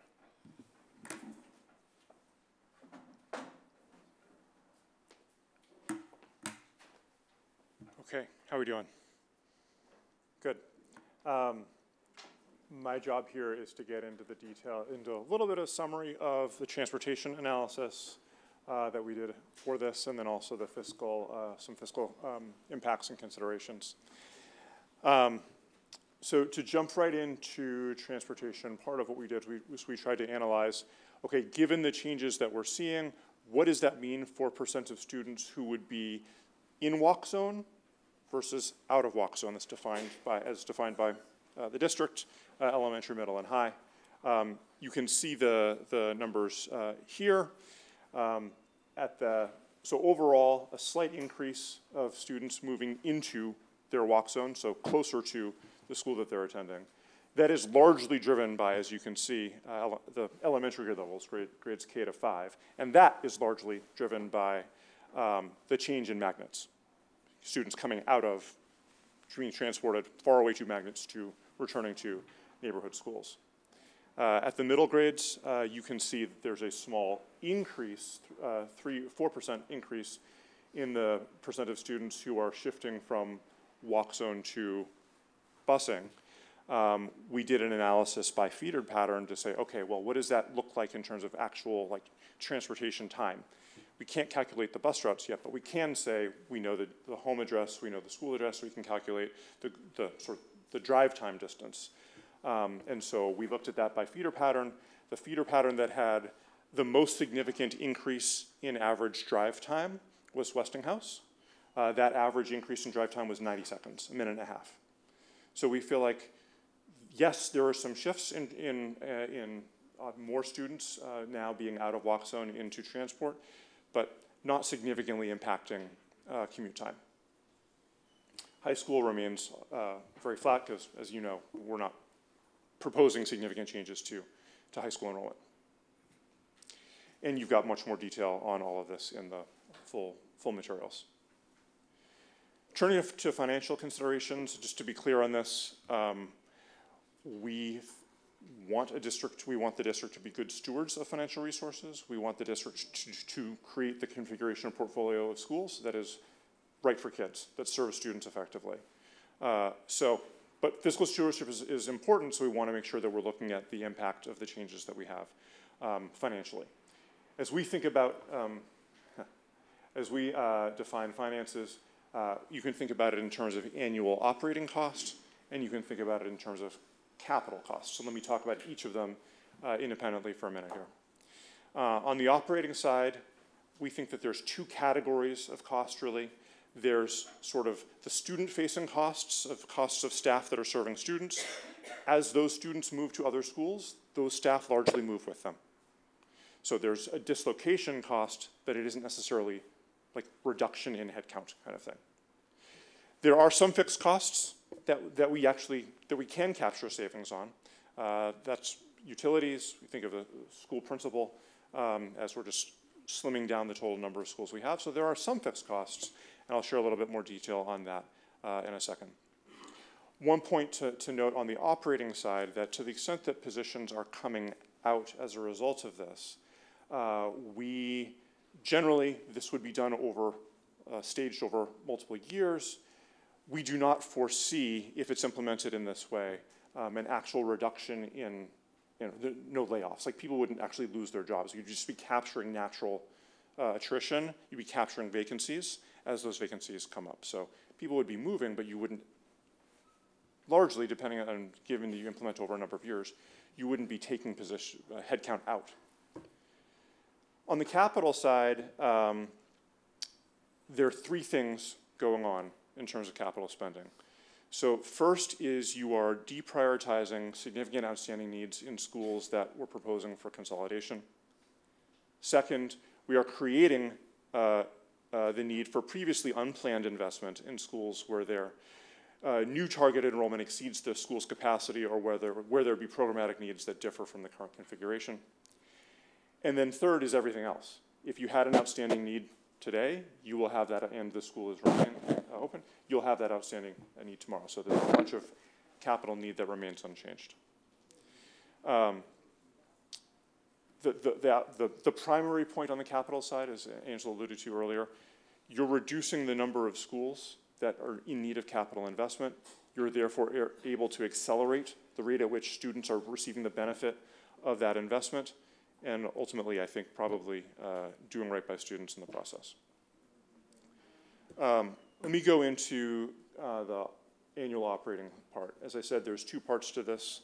Uh, the staffing that um, comes out uh, or is displaced uh, as a result of uh, consolidations. We estimate that to be about 10 million. much of that, as I'll share in a second, is simply just displacement and moving with students. There is some utilities costs uh, uh, that can be captured in closed buildings. And then we're being conservative and not projecting a transportation cost um, savings. As you saw before, you have a larger share of students that are going to be in walk zone uh, than, uh, than um, being transported. So there will be, as we get closer to, as you all get closer to implementation, there'll be closer analysis that you'll need to do of the actual routes to determine the magnitude of the savings. We don't foresee there being additional cost, but we wanted to err on the side of being conservative and not forecast additional savings in transportation. I want to say a little bit more about the displaced staffing uh, costs. Um, we think that for the most part, those shift with students. Uh, you could imagine, we just pulled up two schools here as just to, two uh, schools as a sample here. You could imagine that this gives the district an opportunity to rethink its staffing model, to say, well, what is the minimum, what are, what are the right ratios in schools? What are the right ratios that fit the student experience that we want to have? Are there different minimums that we, that we can provide now than we couldn't previously? And so the highlighted cells are places where we where we identified potential places where the district could uh, dial up staff in its existing small schools and make some changes to ratios. This example uh, is, creates about an $8 million offset to that $10 million savings in the prior slide. But ultimately, it would be the work of uh, district leadership to determine the exact rule for allocating uh, staffing to the rest of the school portfolio. Just to say a little bit more on capital here, um, as I said, there's three different parts of the capital uh, footprint here um, in terms of the impact here, additional investment, cost avoidance, and unchanged investments. You can see examples of those uh, in this in the middle column. These are examples, not the full list of things. Uh, this is just uh, just illustrative. Um, in this analysis, we've uh, hewed pretty closely to the district's cost estimates. We've gone building by building with the PPS team to get building specific estimates, which we've aggregated into these categories. Um, and as I know you know, uh, your outstanding need for capital investment exceeds your short-term borrowing authority, as is the case in many uh, large systems. So it may be semantics, but we, we do think that there's um, the, the impact here is technically a reduction of 50 million in the outstanding need, not 50 million in savings.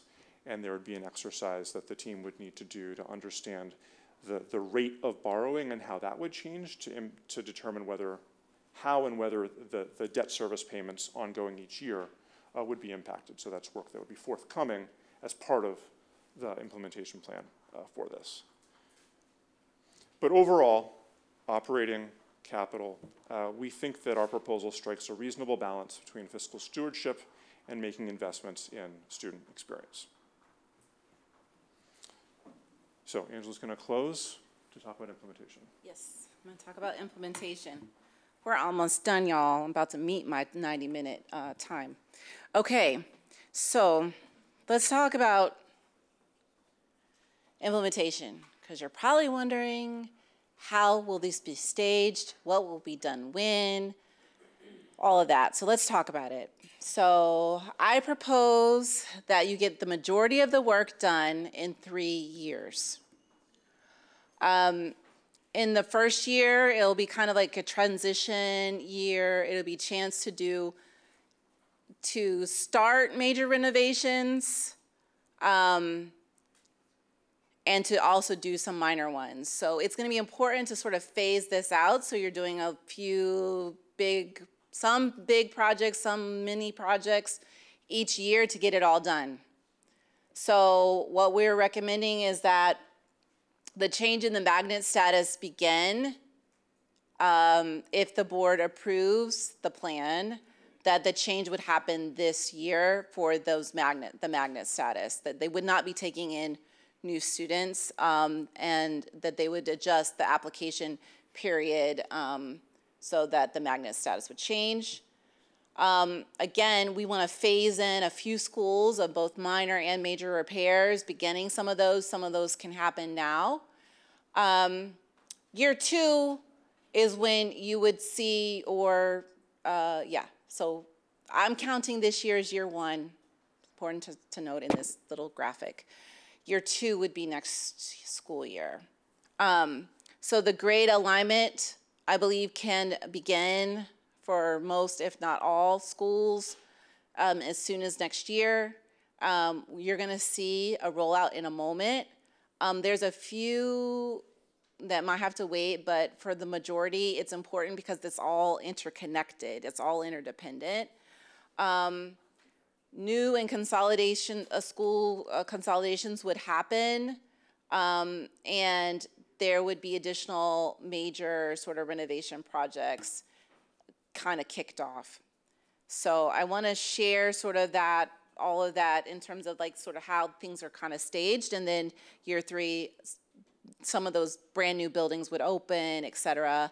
Year four is more like a sustainability year, um, and then you could also focus on your teacher centers at that point. But the majority of school changes would happen in about three years. So this timeline provides a multi-phased approach, prioritizing your major renovation projects, your grade changes, and organizational wide supports focusing on long-term success. So I'm gonna show you over the next few slides how we propose the phasing for this implementation. Again, I wanna stress that this is subject to deeper analysis and coordination with several internal administration and executive leaders. Your operations, your finance, accountability, and HR teams will need to work together to verify the feasibility of this part of, this part of the plan um, because it requires coordination.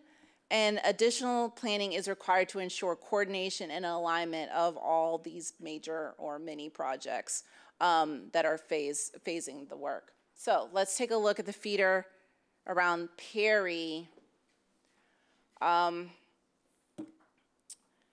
on the screen, you'll just know there's a couple of different, um, we have spring, summer, fall, spring, summer, fall. Some of this work happens in fall 2027, and in that case, you got a little note at the bottom because we wanted to make sure that you could see it and read it. Um, you can see in each of those boxes when things happen for that particular school or location. So again, Perry, there's no changes. Manchester, the current Manchester would close. And then many, many uh, major renovations would begin, okay? Um, and so they need that space, they gotta get in there, there's a lot of work that has to happen. And then you can see when it comes online. It wouldn't come online until fall 2026. King, um, again, we're looking at potentially using swing space there, a temporary space or a temporary six eight. So you could see that um, it wouldn't it wouldn't actually close because those students would go to the new um, the new Manchester. So there's a little bit of phasing that has to happen. Um, but removing of the K5 could happen as early as the spring of this year, again, again, after the board decides. Um, you can see when schools close and when temporary spaces would open on this. And then also you can see when educational improvements are being made and when building improvements are being made. And then, um, so each of these has a phasing plan. I'm not gonna obviously spend a great deal of time going through here, but we have sort of mapped out, if you will, for each of the feeders, proposed phasing plan for each of the feeders, when the K-5 would close, when the other grades would open, and when those major or minor renovations would be happening. I think this helps to also see where those special locations or services also would move into various spaces um, across the various um, feeders. So again, I'm not gonna spend a whole lot of time here because um, I wanna be able to get to questions, but we've mapped out for each of the feeders as well as the other sites, the proposed sort of phasing plan, but again, would need to be reviewed. In my last few minutes, I just want to share a few things about some key considerations or what I'm calling enabling conditions that the district really, I would like, would like to take advisement. Um, because we know that doing this type of work around any sort of portfolio changes is really hard. But I think with a few changes, it could be easier for the future. So one of the things that we believe is important for the future is to consider reviewing and updating your policies and practices to align with the vision, with this vision, um, and all the recommendations contained within this proposal. So there's some things right now, given what we propose, there's some incongruence, some things that don't quite align, and they would need to be fixed if you adopt this proposal. Um, you'll need to review your district choice policies and practices um, for open enrollment to align with recommendations in this proposal. Because right now, um, open seats are kind of, um, uh, uh, schools have autonomy in terms of opening up seats. So it'll be important to standardize this process across the district and to have central management of open enrollment seats especially now that we've added these neighborhood schools um, and neighborhood magnets. You'll need to change the application process and, and policy and, and process for magnet schools, so you'll need to standardize your magnet process. So you'll have to standardize your open enrollment and you'll have to standardize your magnet application um, and criteria, and I, I talked about that earlier. And then lastly, for a district who's gone through a lot, I think it's important to consider adding a policy, a board policy, to review possible school changes or school consolidations as kind of like a flag. You would implement a school board policy that automatically reviews schools when certain conditions are met. So this way, um, it doesn't have to be, you know, the whim of the board or the whim of the administration to, to close a school, but it would allow for transparency and communication when a school is had several years of declining enrollment um, and it or changes you know in their enrollment and would help to sort of create a flag to say this school you know um, may need to undergo some review or some changes in the future and so that would um, kind of create a sort of a flag to sort of communicate and be transparent. Lastly, all this plan requires is implementation and dedicated transition team. Um, and so building out a cross-functional team to develop the detailed plans to go alongside all of the things that we talked about will need to occur and to support a number of areas. And so, um, it is including but not limited to all of the things that are on the screen. Um, so having a, a central team to really focus in on this work will be important. PPS was built long ago. Now's the time to build for the future. On behalf of ERS, um, our entire organization, I want to thank you for the opportunity to work with Pittsburgh Public Schools. I've spent um, my entire summer and a part of my fall um, in PPS on the ground. Um, I have been to more than several of your schools.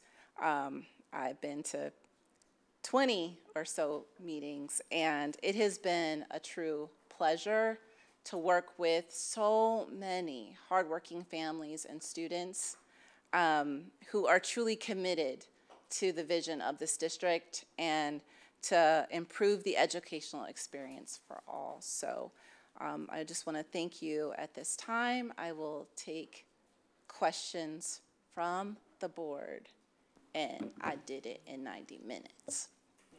And we thank you for that. So thank you very much for your presentation. Um, Board members, do we have questions?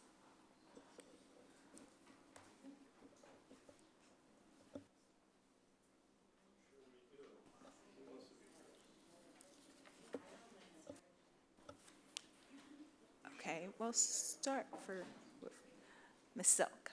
Thank you so much for, for all of that and for getting it that many slides in, in, in 90 minutes.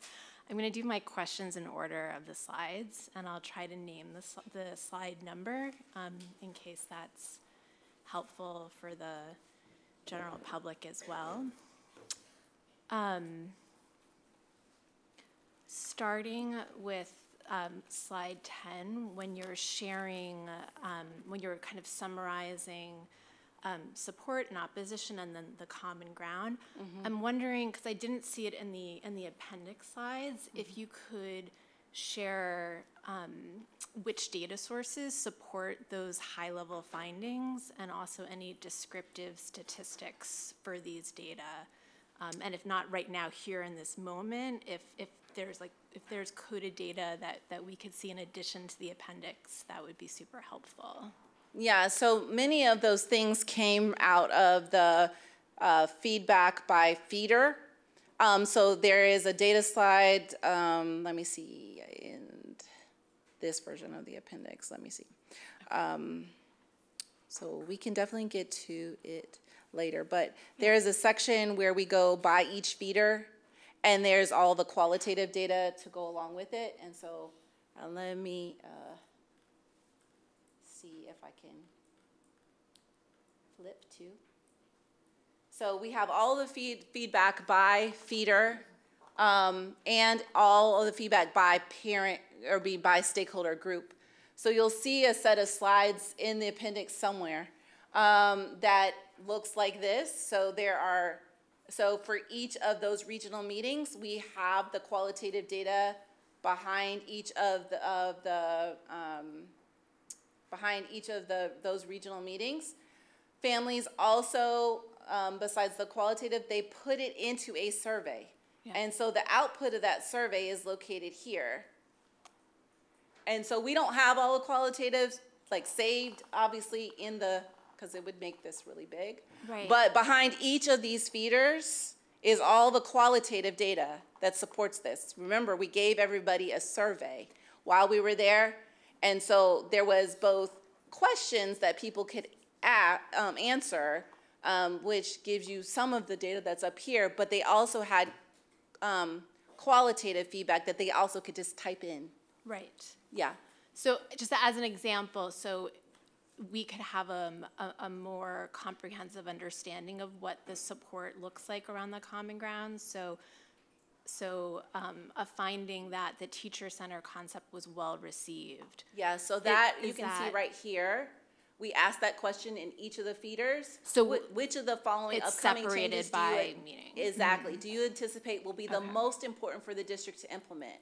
Mm-hmm. Every single regional meeting we had, people chose that that is one of the most important changes that needed to be implemented. Mm-hmm. And then we also have the qualitative written feedback that aligns also with their survey. So that data is, is reported out, distributed by meeting, is what we have access to. Okay, thank you. Now, also, we left it open, mm-hmm. because you know, some people had access issues in the building. Yes, So they could have completed it after the meeting. So it doesn't mean that they had to complete it during the meeting, but these were, all these surveys were also online on the website. yes, understood. Okay, Yes. thank you. Um, For um, slide 16, um, around magnet schools um, and, and kind of reconfiguration, can you, uh, I think I know what you mean by this, but can you, just for, for, for clarity, um, define what you mean by a thematic K-5 school? Yes, so many um, folks, uh, they have a specialty, and the specialty is usually around a, it can be a theme, um, or it can be a curricular focus. And so a theme might be considered like a STEAM school or an art school. Um, a, a language immersion also could be considered a theme, but there also could be a curricula, because you know, STEAM, uh, STEAM or STEM, um, there's curricula that can also go with it. So not only can you be a, a thematic school focused on STEAM, but you can also have curricula aligned to support that particular theme. Okay, thank you so much. And, and uh, just an additional clarification, um, that is, um, those are all explanations in a, in a neighborhood school model, right? On that slide where you use the language of thematic K-5 school. Those are neighborhood schools and not magnet schools. You have some magnet schools that have themes. Okay, So it could be both. it could be both. Yes. So it's like a, it's a general. Yes. So any And that's so why I had the little That Venn- the Venn diagram. That's why the Venn diagram Got you. Okay, Yep. thank you. could be both. Um, when, when you are talking about the rationale around magnet schools on slide 19 and talk about K-5 and K-8 magnet schools typically have less diversity, can you um, unpack in which way those are less diverse? Socioeconomic status, racial diversity, English language learners, all of the above? All of the above. All the above. Okay, thank you. Yeah, but we did um, sort of do a, it's all of the above, but we did also look, because the original um, design of magnet programs was to integrate schools racially. So we also looked at the racial makeup of many schools as well. Yeah, Thank you. Um, Also with magnet schools, um, in the slide, you include that many of the elementary magnet programs are not achieving its intended program design outcomes. Yep. Does this mean that there's a lack of implementation fidelity? Um, And if so, how has that been communicated to date to those families? Yes, so I, um, I know that the designation of magnet schools was created long ago. Yeah, And through our interview process and talking with a number of folks, um, there, there were definite feedback that in some cases that the people were confused on what the programming was. Um, and so in some instances, I believe that the fidelity, like you said, the fidelity of the true program and making sure that it's like really robust and, and really um, fully delivering on all of those things around a particular specialized area, um, that there's inconsistencies in that fidelity. yeah. Thank you. And on that last bullet on that slide, could you share a little bit more about how the demands have shifted um, it reads, since the original design and implementation of the elementary magnets, student needs and demands have shifted. Yeah, so i- that bullet was really referring to this and then going back to the demand across the various schools. Um, and maybe it's an assumption, but you've got some schools that had to keep their application open just to get um, applicants um, for that particular location. Um, and so I don't, I, I think this is an opportunity for the district to sort of align on the programs that they feel um, best sort of align with where the district is now and where that school community is now. Um, and so it's an opportunity, I think, to sort of shore up, if you will, the, the programs. Thank you.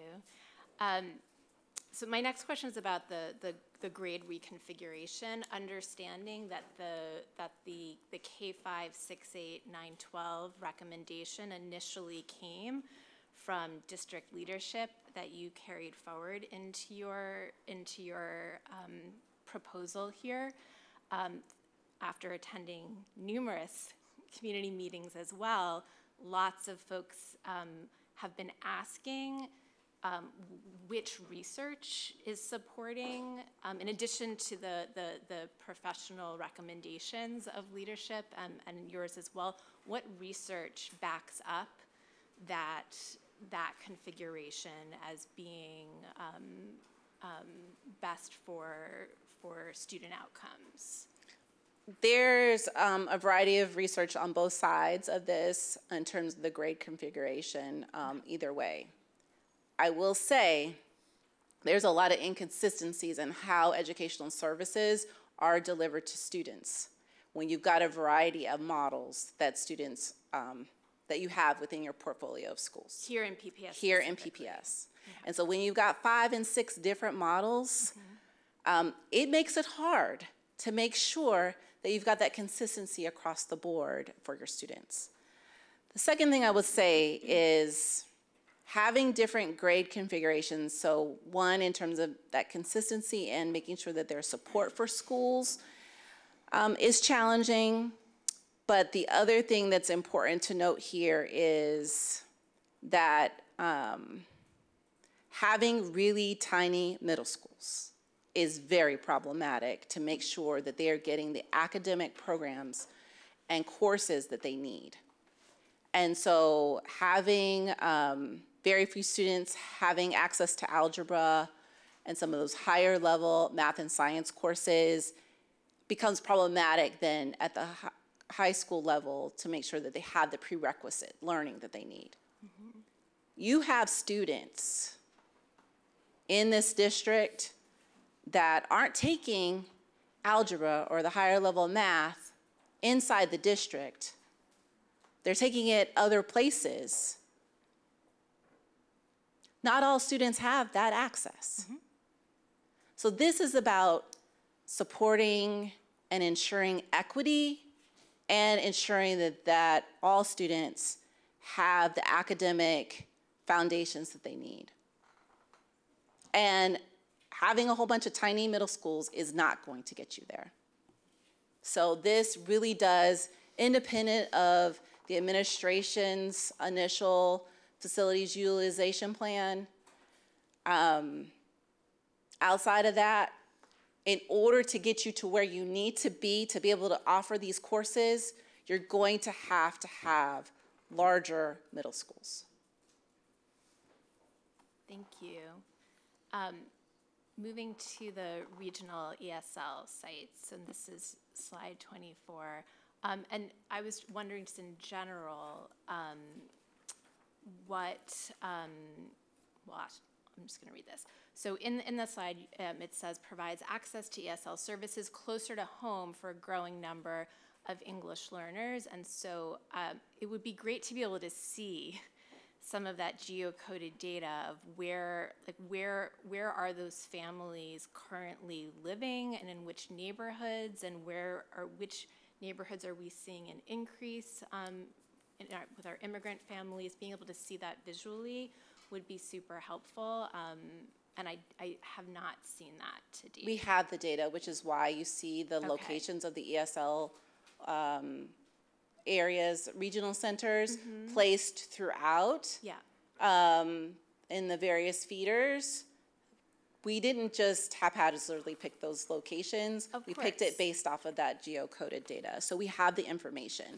yes, it would be helpful to also be able to, to see that as decision makers and uh, for the public to be able to see not just where you're recommending that we put them, but also to have a sense of where our changing population is um, across our district. Um, Thank you. Um, The, for, um, this is in slide 29, repurpose available building space to support community partnerships and professional learning. Um, Can you speak a little bit to um, what the, what the space and design needs are for professional learning for, for PPS staff?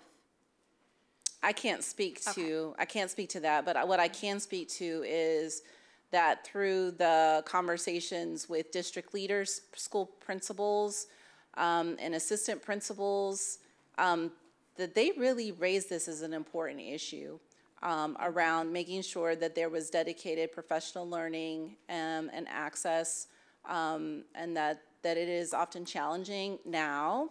And so, um, I can speak to that part, um, in terms of the need. Yeah, and Yeah, they helpful raised it, came it was raised both, staff. yes, and, um, also within the, we also did early on a high-level survey with teachers and, with teachers as well, um, in terms of wanting to have support.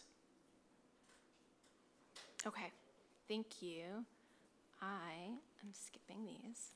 Um, for, um, I know that this is, this is in the appendix, but because some of this was part of our, our public meeting tonight, can you, um, can you uh, just unpack for, for the public what the, um, what the educational adequacy index is? Because I think on the slide, it just read EAI um, and who developed that.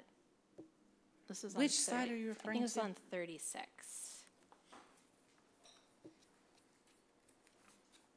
In the, oh, on the, um, oh. Okay, I got you.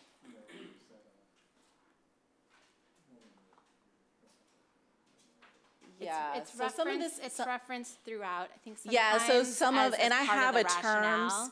Yeah. Yes, I have a terms and, um, a term sheet, a terminology sheet that Yes. goes along with this, which is located in the appendix. Mm-hmm. Um, so yes, yeah, so some of this data we, is, is district data, um, that we highlighted in terms of just available data that we utilized in, throughout this process. Let me see if I can figure out where in the appendix it is. But yes, there's a term sheet to one fifty. Okay.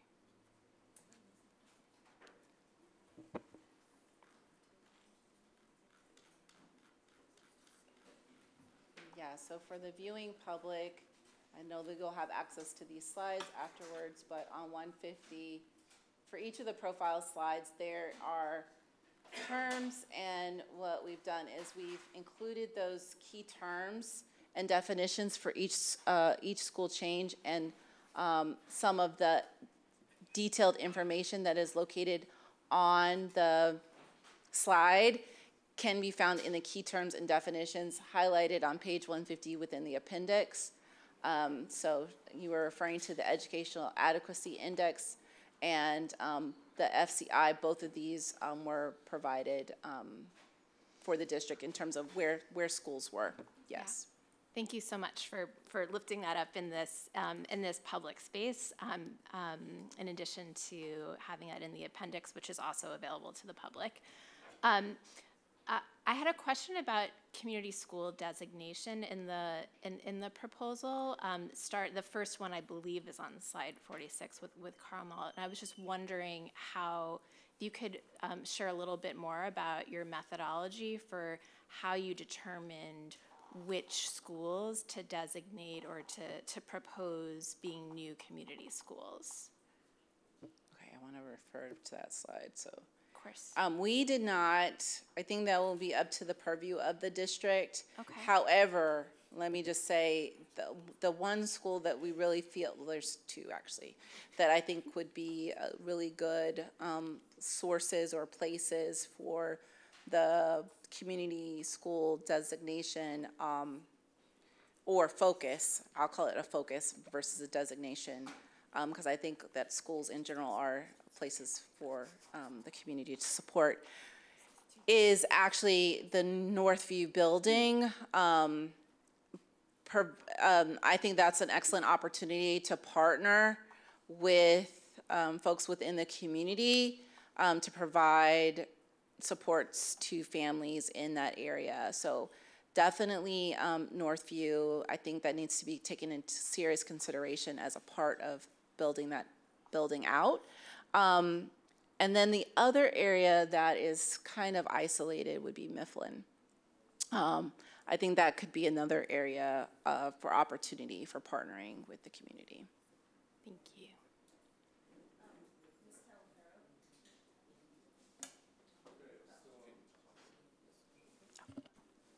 Mr. Dean. Thank you. And thank you. Uh, This was a tremendous amount of work, um, and uh, we appreciate it. Uh, I have three questions. Uh, One, the first is our dilemma here in Pittsburgh is not just logistical. It's an academic shortcoming in certain areas and in certain communities and certain schools. I am more concerned about the academic needs of our students than I am how long is the bus ride, how many seats are available in the classroom. Not to suggest that those things aren't important, but my priorities are our mission of educating children at a high level. I have raised that point uh, almost every time I've had an opportunity, but it seems to fall on deaf ears. And it is certainly not included in the shape of this proposal. Um, I wonder what you what the discussion was within ERS um, about how to treat that subject area and what what your recommendations are uh, for us going forward. Thank you um, for that question, and it was really at the, it was um, one of the important factors to what we considered, trying to improve overall, um, the overall academic outcomes for students. Um, and many of our recommendations are rooted in trying to provide stability um, in, in the midst of major school change and trying to improve the quality of the academic eh, student experience. Um, so I'm trying to find a slide. This is not all things, but I want to talk about what's on this slide, and I also want to go back to another slide. Um, we were thinking about student outcomes and how to improve the student experience I think one of the important things that needs to be taken into consideration is helping to support your teachers and providing stronger professional learning structures um, for improved classroom instruction. Also, to provide more manageable workloads for your teachers. That helps to support in teacher retention. Um, expanded coursework and resources at schools and serving greater numbers of students um, across all your socio uh, demographic data will result, I think, in higher academic um, outcomes. Um, so one, that foundational, you know, creating foundational experiences for your students at the elementary level is really important. They should have access to art, music, PE, and world languages at your early, at your early grade levels. That will help to drive um, higher levels of ac academic outcomes and readiness for at the secondary levels. Um, so we believe that these changes will do that, but I also want to go back to uh, earlier on in terms of the academic experience, I want to go back to this slide.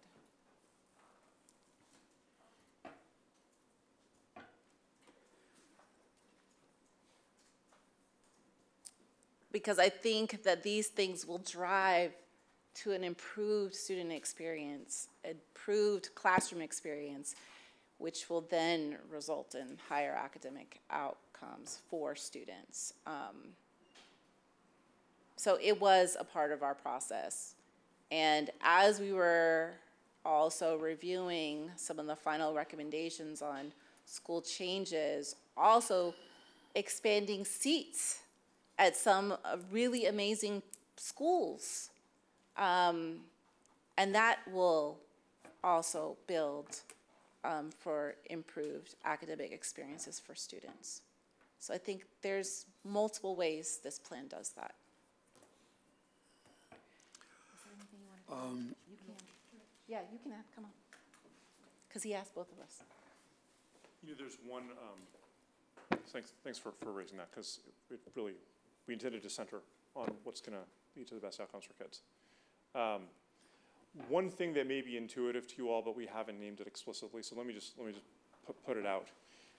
At, um, grade level size, as opposed to school level size, as, as opposed to school size, is a very important driver of student experience and teacher experience. Let me say a little bit about why. Um, one of the things that when you've got one or two classrooms at the elementary level, your opportunities for, for providing inclusive settings for special ed kids uh, can be very limited. When you've got one or two, you don't really have teacher teams. You have uh, who, who share content. You've got to be very flexible in terms of how you have teachers actually collaborate. There's a whole body of research around teacher teaming and professional learning that talks about teacher teams and collaborative planning as a really big important driver of improvement in instruction, opportunities for flexible grouping, individualized attention, small group instruction across, even across classrooms sometimes. When you've got a singleton in a grade level, you really can't do that. Imagine a novice teacher who you are the one second grade teacher in your school and it's your first year teaching. Imagine what that experience could be if you had three other second grade teachers who were helping you every week uh, to get your to get your lessons uh, done all that. So teacher teaming and grade level size, really important uh, part of the thinking behind a lot of what's here in the shift to K-5 and 6-8. I know as former middle, as middle school teachers, if you are the math teacher, you're teaching sixth, seventh, and eighth grade math uh, because that's like that's your content, or you're or you're teaching interdisciplinary, multiple multiple subjects. Really challenging look, really hard to provide great instruction. If you are the sixth grade math teacher, you've got one you've got one prep for four, if you structure correctly, four periods. That's an opportunity to really go deep on that content and provide significantly more precise instruction uh, than when you have, every day, having to do three different lesson plans for three different grade levels.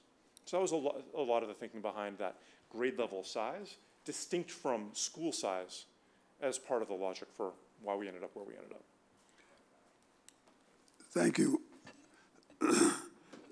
Those things may happen, um, but I would appreciate the, the, the things that need to happen to realize that those changes and improvements be brought to the surface so that they can be understood and believed and acted upon. Um, my second question has to do with uh, our process. Your your recommendations uh, actually are to the superintendent, uh, not so much directly to the board. The board has to engage among its members uh, and decide what parts of this total package we buy, we, we, underst- we agree with and adopt, and which parts we don't. Uh, and we rely on the superintendent and his recommendations uh, ultimately. Uh, and I wonder if you have some advice or some thoughts about the process between the board and the superintendent that will get us to a final decision. Uh, yeah. I was gonna say, I, we really defer to this body um, to make a recommendation in terms of um, moving forward. Um, because I know that there's a process that you guys implemented, and that's how we sort of got here. So we would defer to to both um, uh, the board chair and vice chair, education committee uh, lead, and the superintendent. Um, so we would have to defer, but happy to if there's specific questions that we can help to inform. Um, but as far as I know, I get to go home tomorrow. Um, my last question has to do with racial implications. Um, the majority of students in this district are African American students. Um, and we are failing to educate those students. Um, and I wonder what, if you have some pages relative to the racial uh, implications of the uh, the recommendations that you're making. Yeah, so I want to go back to this slide um, that shows the impact, what we looked at. So I'm going to go from left to right. We looked at the total number of students that would be impacted. Um, you know, looking at your entire population of students currently, um, the black bar denotes the percent of students that would be impacted. Now you may wonder, so like how many are in, within that 38%? Like when you look at the total number of students that are economically disadvantaged, what percent of those would be impacted? It's 39%. When you look at non-economically disadvantaged, it's 35%. When you look at SWD, your students with disabilities, it's 42%. Your non-SWD, how many is that? It's 37%. So let's get into, um, and then non, or ELL, your English language learners, and then your non-ELL, you can see it's 35 and 38 percent. Now, your, your specific question was around the number of black students. How are they impacted? As you can see on the chart, it's 39 percent. Your number of white students that would be impacted, it's 34 percent. And Asian, 38, and Hispanic, 36. So it's relatively, in terms of impact, number of people touched, number of students impacted, um, it's kind of balanced, you know, across the various demographic groups. Um, historically, we know that your picture of changes and impacts did not look like this. It was a lot greater. It was a lot greater in terms of African American students that were impacted by school changes. And part of the reason why this number is lower than what was originally stated is because we, um, there are less schools that would undergo school changes. So that's why the number is the number that it is. Thank you for your questions. I'll buy that for now. Thank you. Thank you. To- Mr. Barker? Thank you, thank you uh, for really uh, taking in consideration um, all of the the things that folk really didn't want to buy the first time you all came and presented.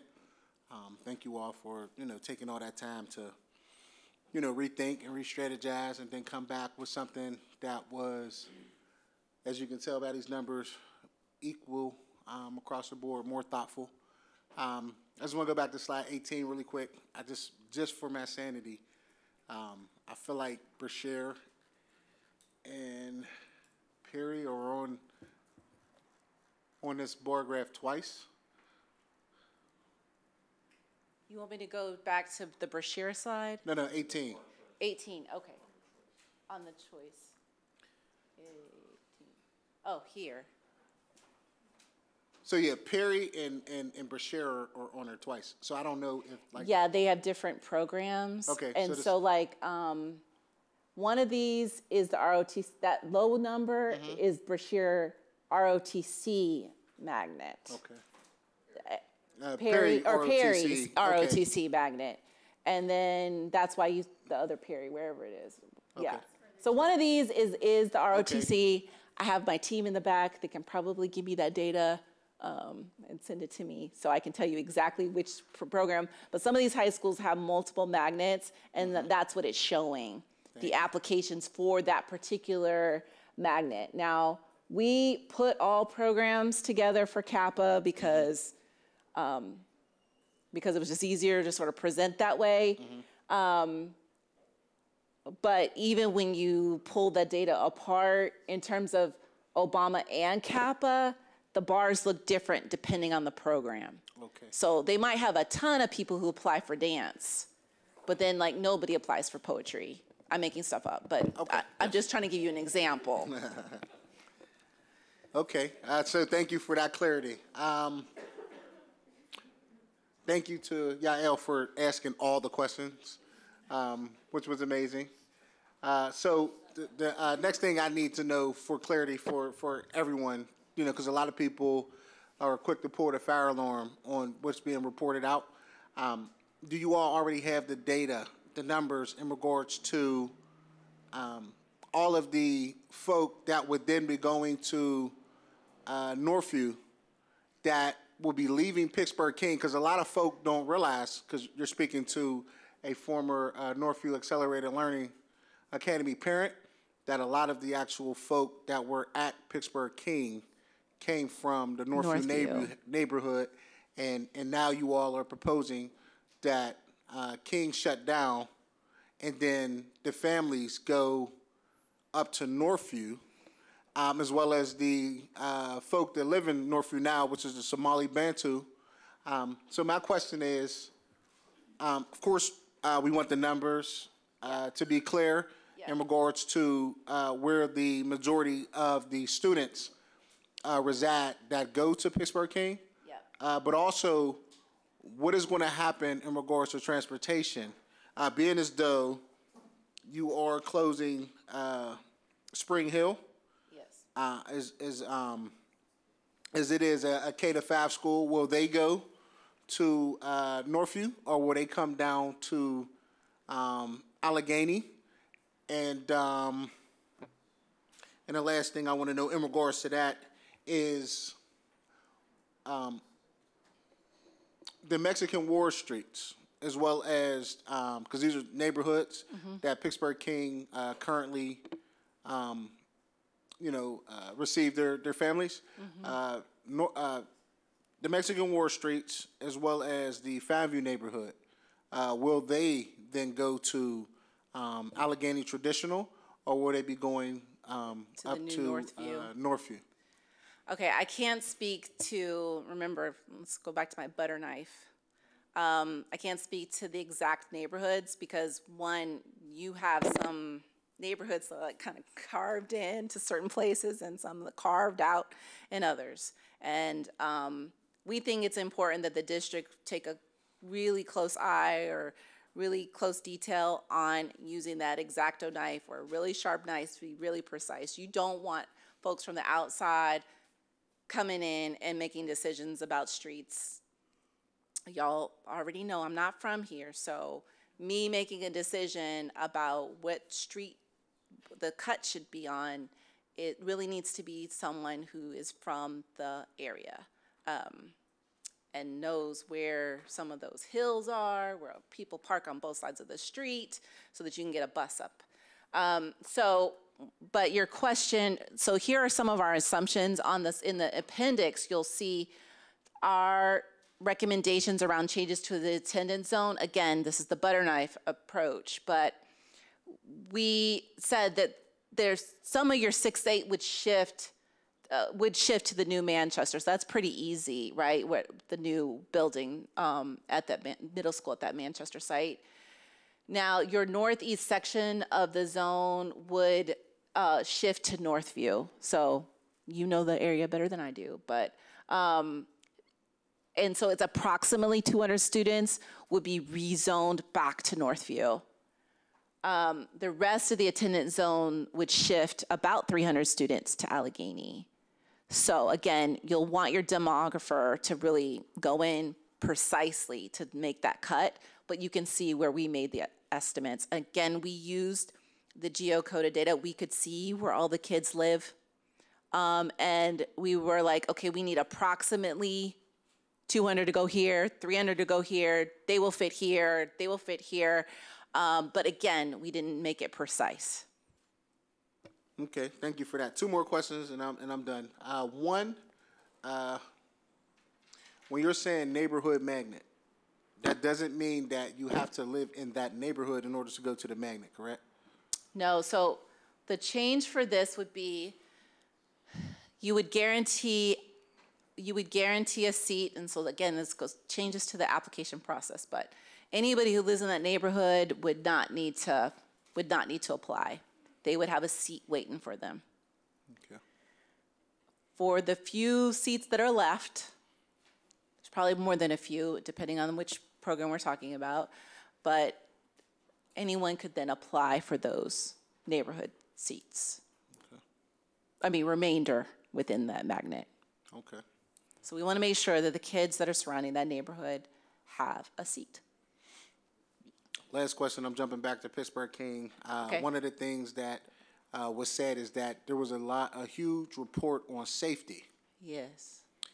Um, Are they referring to what is out in the, you know, in the The park? outside. Yeah, the outside? Yes, there was a lot about just non-PPS students, families, staff, but uh, other adults coming on the property um, and either sleeping on the property or um, doing other illegal activities. I just want to say for, for clarity, uh, they probably have one of the strongest, if not the strongest lockdown, um, because they can lock down their porches, which no one gains access to their actual building. Um, so I just want to put that out there because, again, King gets a bad rap for this, that, and the third. Yeah. Um, but if I was in the lockdown situation, I'd rather be at a Pittsburgh King than some of these other buildings because you can't gain access uh, to, you know, their their main doors Yeah. um, if their if their porches are locked down. Also, whenever they're um, out there, if you're doing any events, uh, their porches are closed in. Kids can play um, if it rains, uh, so on and so forth. So. I just want to make sure that we all know that because King does get a bad rap for not having Yeah. good things going on, and they do have some great things going on in that building. They have some great things going on in the building. Thank Yeah. you.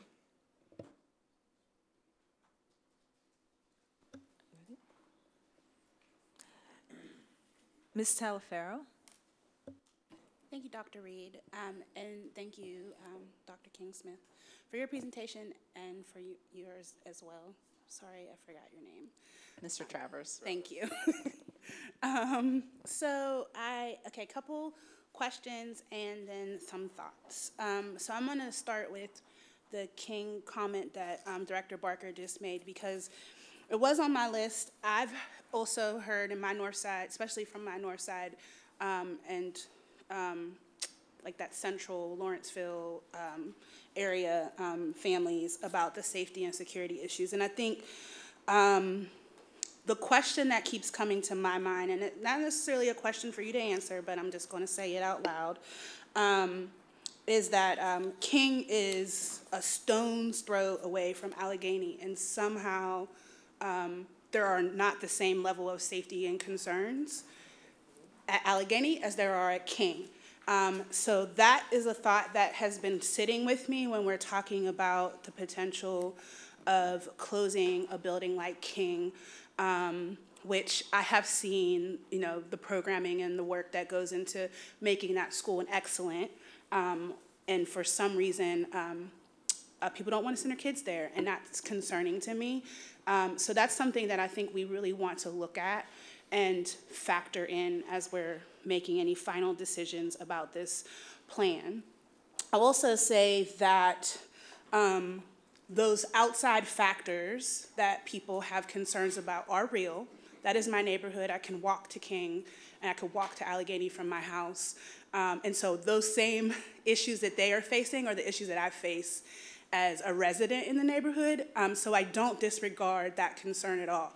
But I think that when I when I look at issues like that, um, the first thing that comes to mind is that these are factors that are out of our control, but these are the factors that we need to call on and challenge our other um, city officials, city, county, um, and even state to be able to address the issues of drug use in that neighborhood, to address the issues of homelessness in that neighborhood, because it is a real issue. Those people are people, um, so I will not um, say that or do anything to you know dehumanize them, but I do think that that's a real problem in that part of the community that I think um, we can't.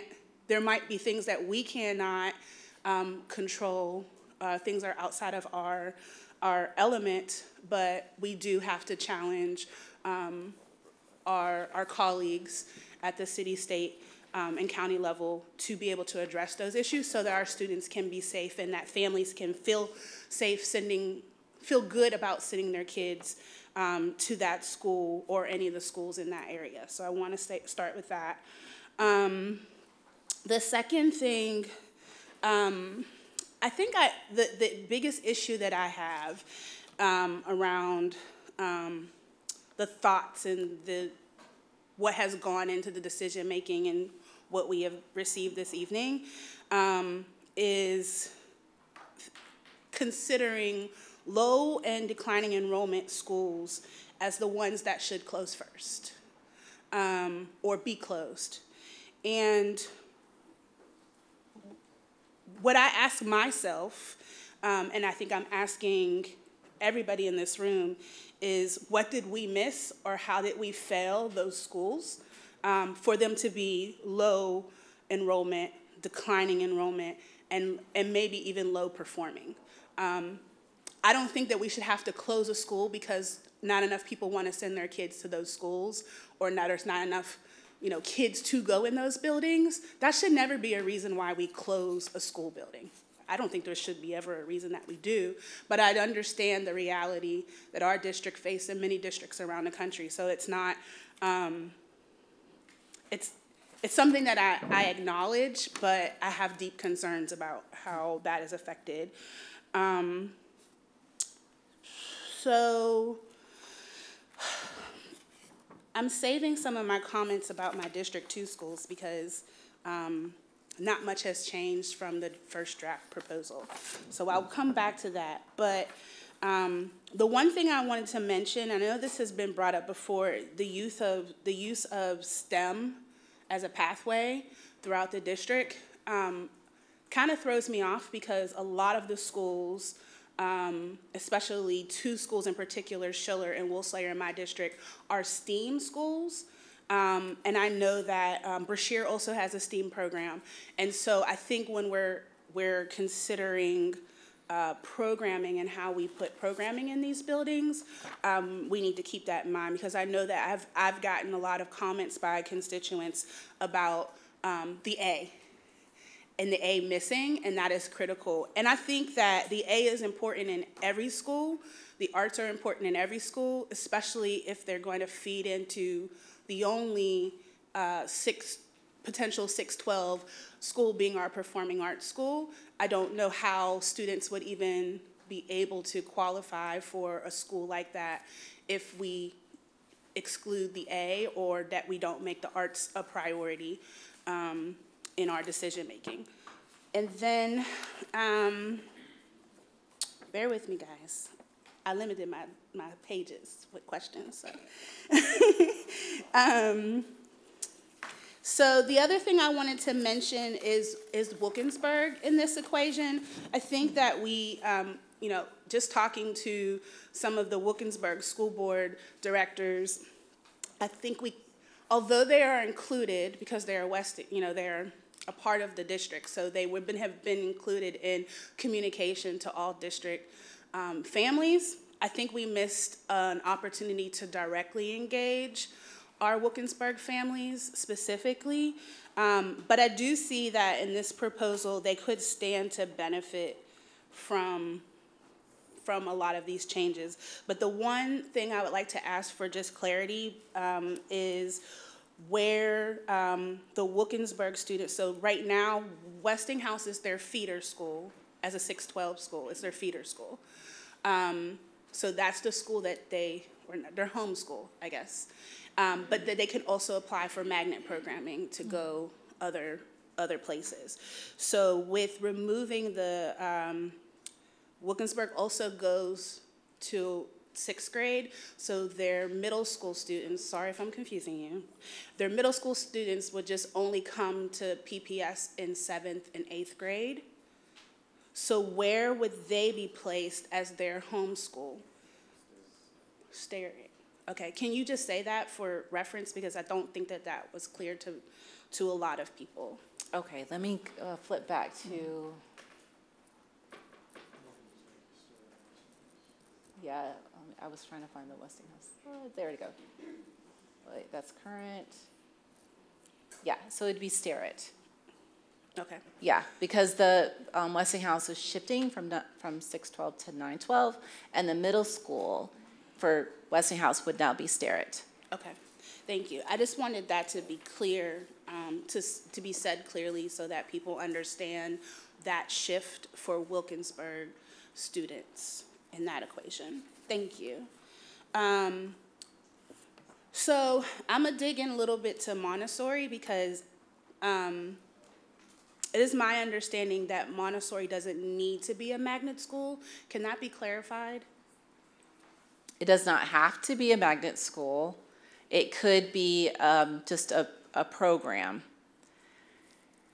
So that is something that, um, as a board, as an organization, you all can look at.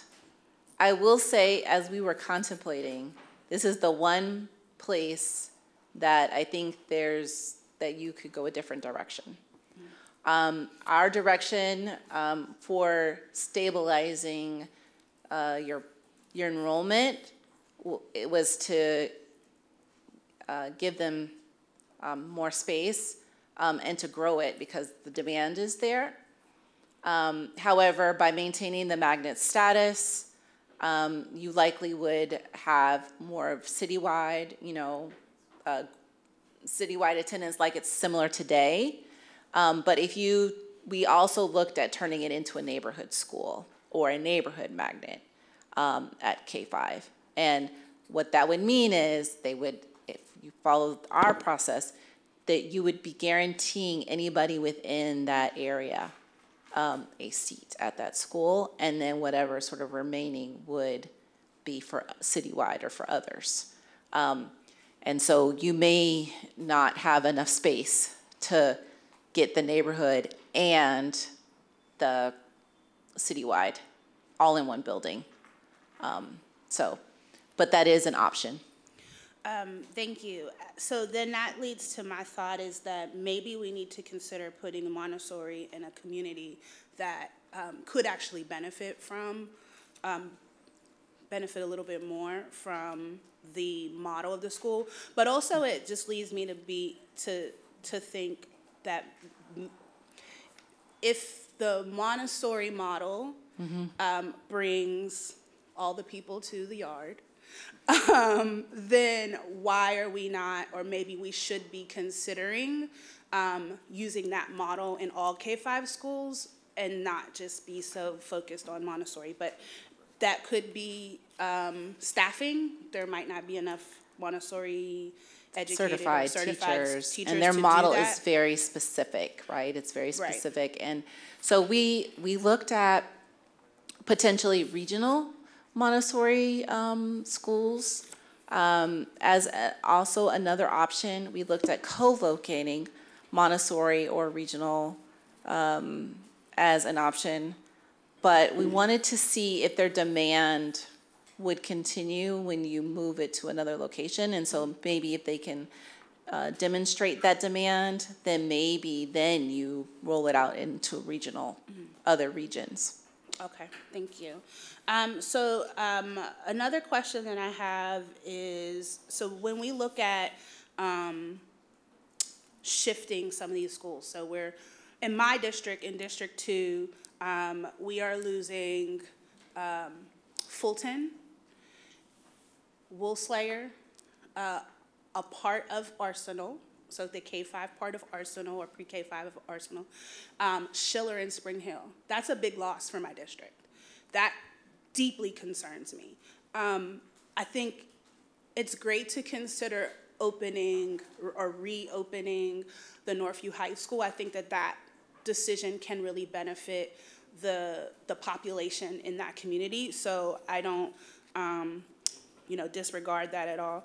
But it does concern me still. Now we are talking about uh, loss of King, uh, Schiller, and Spring Hill, and it still creates a weird um, absence of schools on the north side, which covers multiple neighborhoods. The north, we call it the north side, but it's like 16 to 18 neighbor, different neighborhoods, and it's very spread out. So that's just something, again, as we're working through a proposal and what might work, um, brings up a level of concern for me. Um, I understand the passion behind every one of the buildings that I represent and the families um, and the students who attend them. It's going to be a loss. And I don't think that that's something that we can just take lightly and Yeah. just say, well, we need to decrease the amount of schools that we have.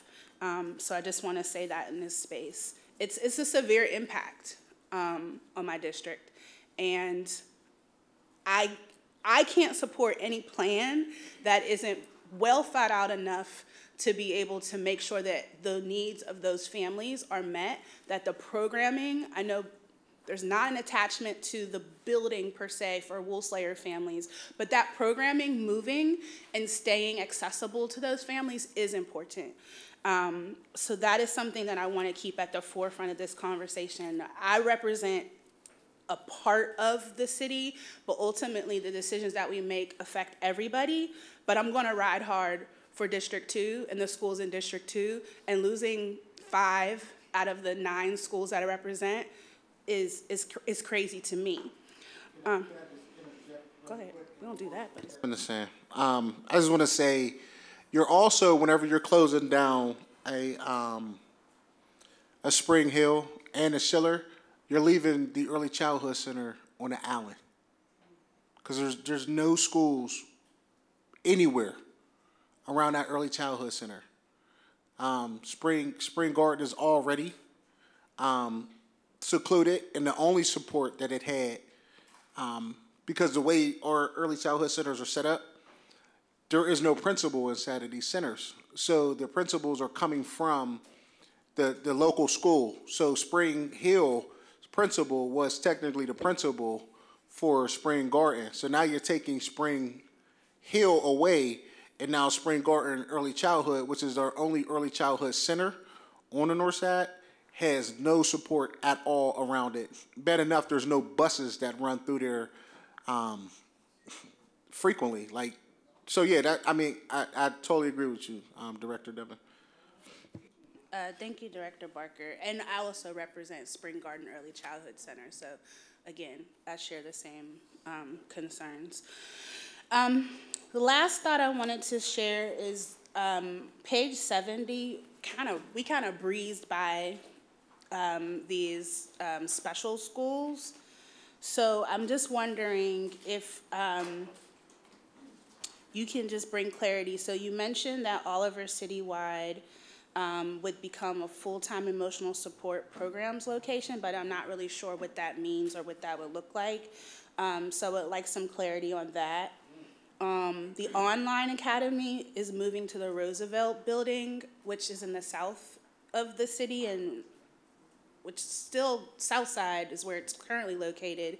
But is that, is that going to be accessible to students um, who utilize that program? And the online academy building in itself um, also houses like our teen pregnancy program, and I know other um, spaces, office spaces are, are, are utilized there. So then what would become of that space um, is what I am wondering. And then the last thing, um, it's probably an unpopular opinion, but I am fully supportive of closing the Gifted Center and putting gifted programming in every school that's supposed to have it. It works well at Dilworth.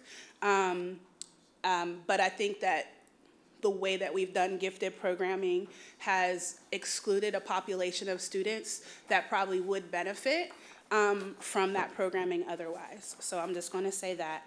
Um, and then I'll go back. One more question I forgot to ask was the Dilworth. So Dilworth already is um, like, I don't know if it's at capacity or has spacing. So I know that we would take the magnet status away from it, so it could free up seats.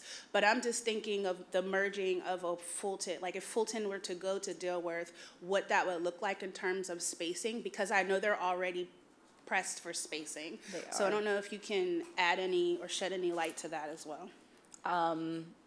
So let me talk about Dilworth in a moment. I can't speak to um, your, um, a lead for all of your students with disabilities programming around the Oliver Citywide would have to answer specific questions regarding the emotional support programs. Um, But um, in terms of finalization, um, so I, I can't get into the details of that because we were asking more global questions about possible um, location or relocation. Regarding the Dilworth, yes, that is one that in terms of like phasing out of the magnet and the timing of that is gonna be really, really important. Um, and because of the number of students that are currently in the program and the number of students that are in that area. Um, so turning it into a neighborhood school, we'll have to sort of phase out the magnet, um, in order to be able to create space for the neighborhood. Okay. Um, and then my last question, I guess, is to, to us as a board. So th- this is a lot of information, um, and the bigger presentation, I mean, the bigger two hundred page slide deck is even worse. Um, so if there are additional questions, like after this meeting, will, what will the space be or how will we be able to, to get those questions answered? And then will those questions be made public?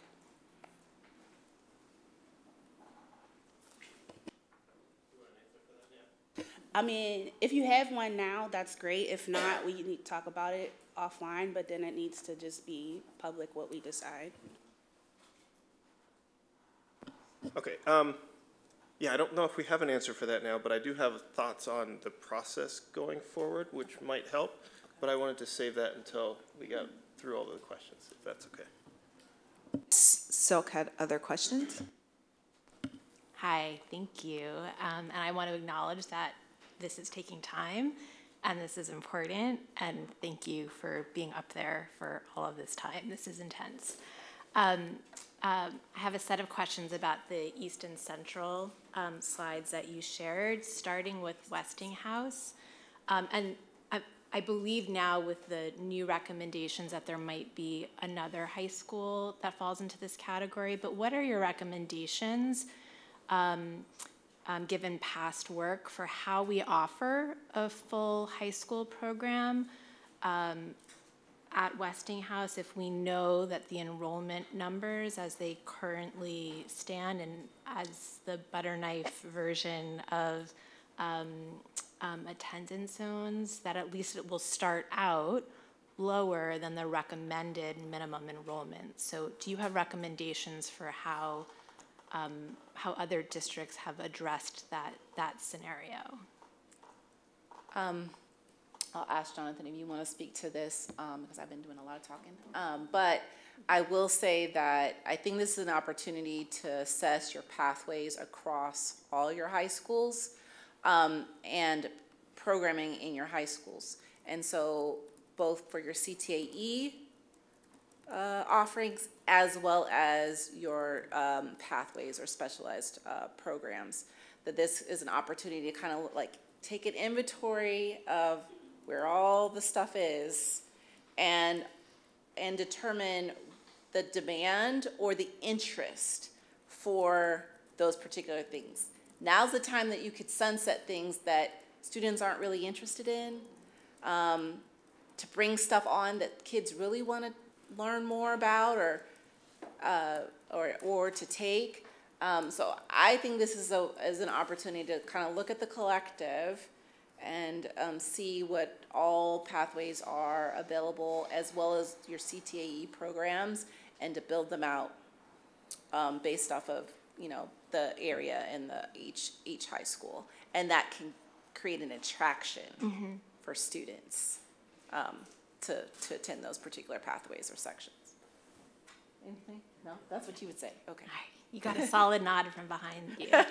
Um, thank you for that. Um, my next question is about the, the Colfax zone, because it wasn't clear to me, based on what was written on the slides and addition, what I think I heard you say. Let's go Are you, there. I think it's fifty-eight. Are you I'm gonna go on down here to the detailed, where you Okay, can see perfect. the actual zone recommendations, because Okay. Colfax, um, has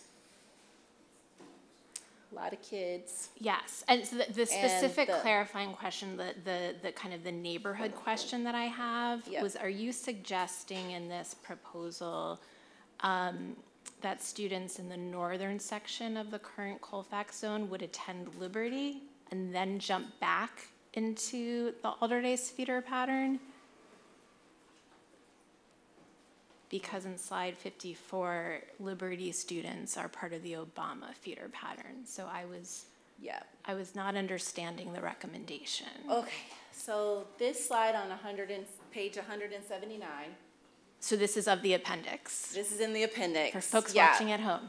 This has all of the sort of assumptions around the, the, the attendance zone changes. And so in this far right column, not the far, the furthest right, but the one before that, it shows what our notes were on what we were assuming. So, um, so the current K eight, or the six eight Colfax, you may wonder where the kids coming to fill the six eight.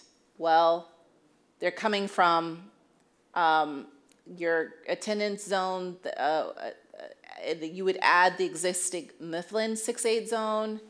You would add the existing six eight zone, uh, Greenfield zone. They would receive a portion of current students in the Sterrett attendance zone. there would be some shifts in the section of the attendance zone um, around Greenfield. Um, Minadeo would also have some shifts, and there's a little bit of shift around in, in terms of um, uh, the section around the northwest section for Liberty. So there are lots of new cuts that will need to be made. The current Colfax as a K-8 is 719 right now. With these assumptions around these changes, we're looking at um, middle school around 660, um, which is that modeled enrollment over there. Now, um, so that helps you to sort of understand like sort of what our assumptions were, but I know there are some, um, like I said, some of that detail work that would need to take place in terms of exactly where those cuts would be. Yeah, Um, and then here you can see the elementary where, um, like, so if, if, um, I'm a Colfax parent and I'm wondering, like, would, I be likely zoned to Greenfield? Um, you can see our assumptions to the right, um, uh, and which students would need to, to sort of shift, um, for, the- for, for Greenfield. So you can kind of see our assumptions. I'm, I'm having trouble decoding this information, so can you give me as an example, if I am a family currently living near the Colfax building, and I'm wondering where I would go to elementary school, where would I go in this model? So again, this sort of has some sort, of some of our baseline assumptions. What we can do is we can sort of follow up with you regarding that particular question. Okay. Yeah. Um, that would be helpful.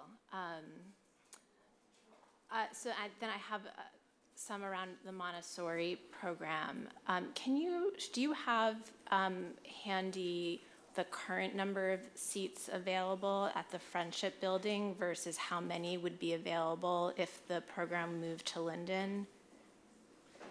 One moment. Yeah, okay, thank you. We'll, we'll look that up. That's excellent. I'm gonna move on to the next question while you look that up. Okay, so front that? number, the total, thank you, because, yes, thank you, because I can't see. You might need to look at it, because I have.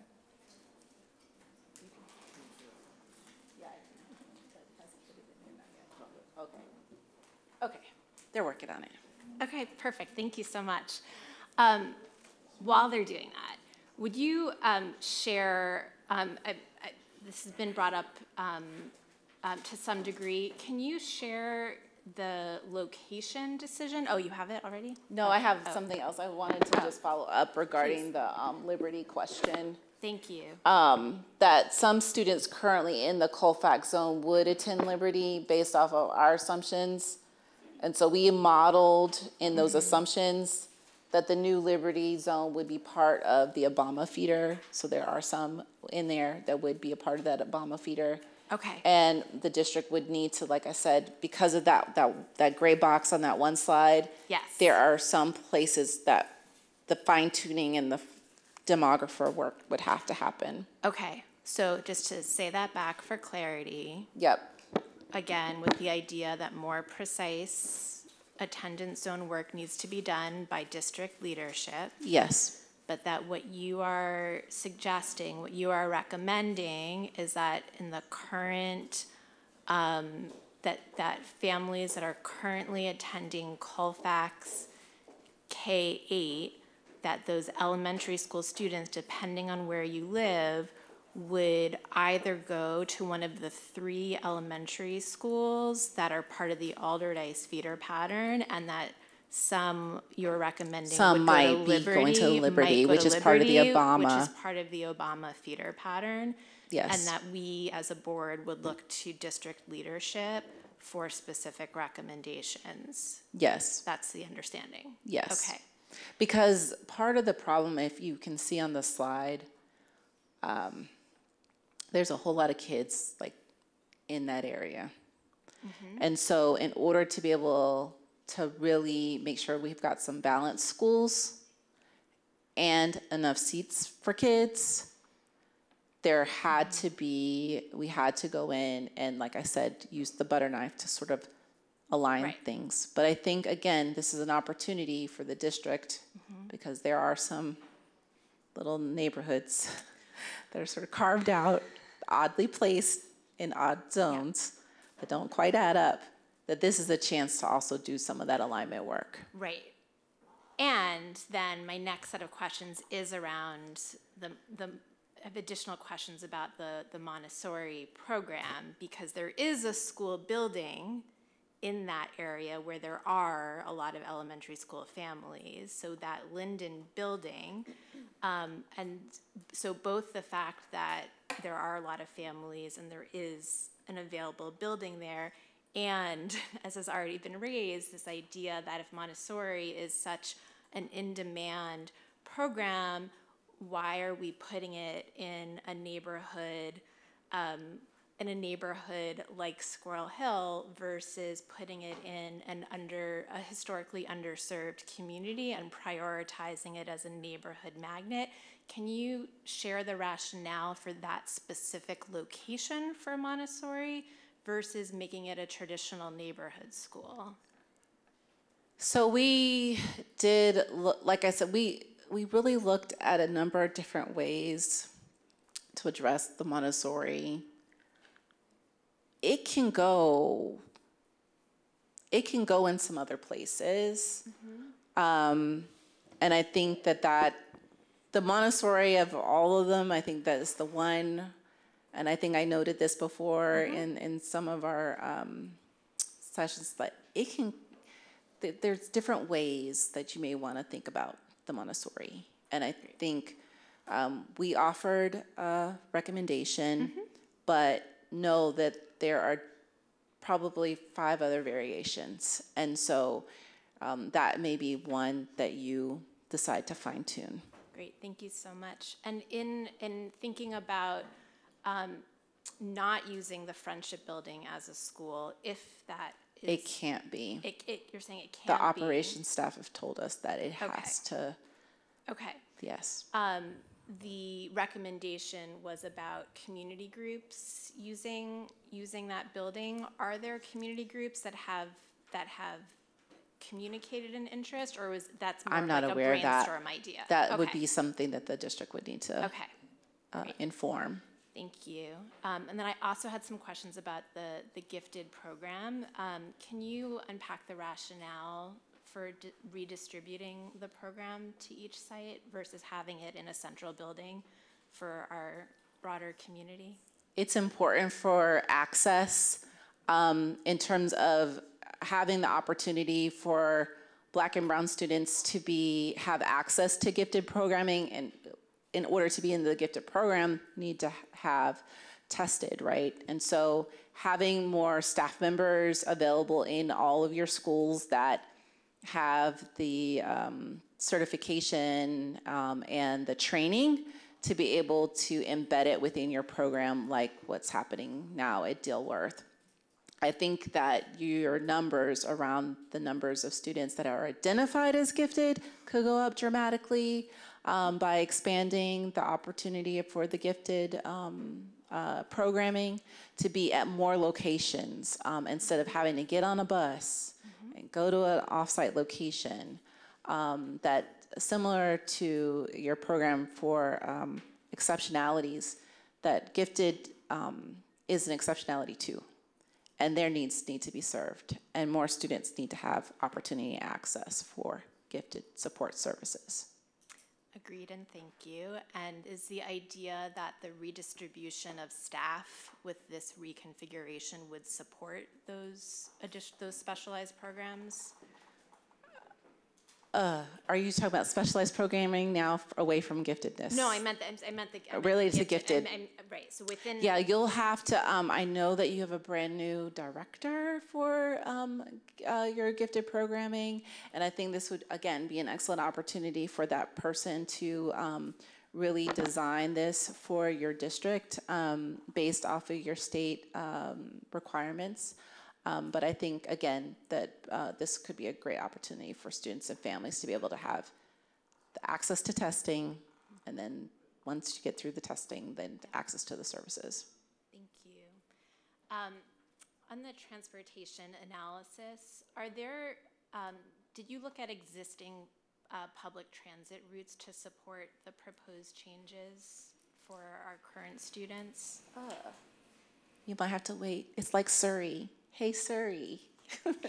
Um, So hold on, let me ask that question because I did not uh, work on that analysis and I don't know if our, our team member back there needs to help us to answer that question. So we'll, Great. we will ask, um, let me get back to your question regard, um, regarding uh, Friendship.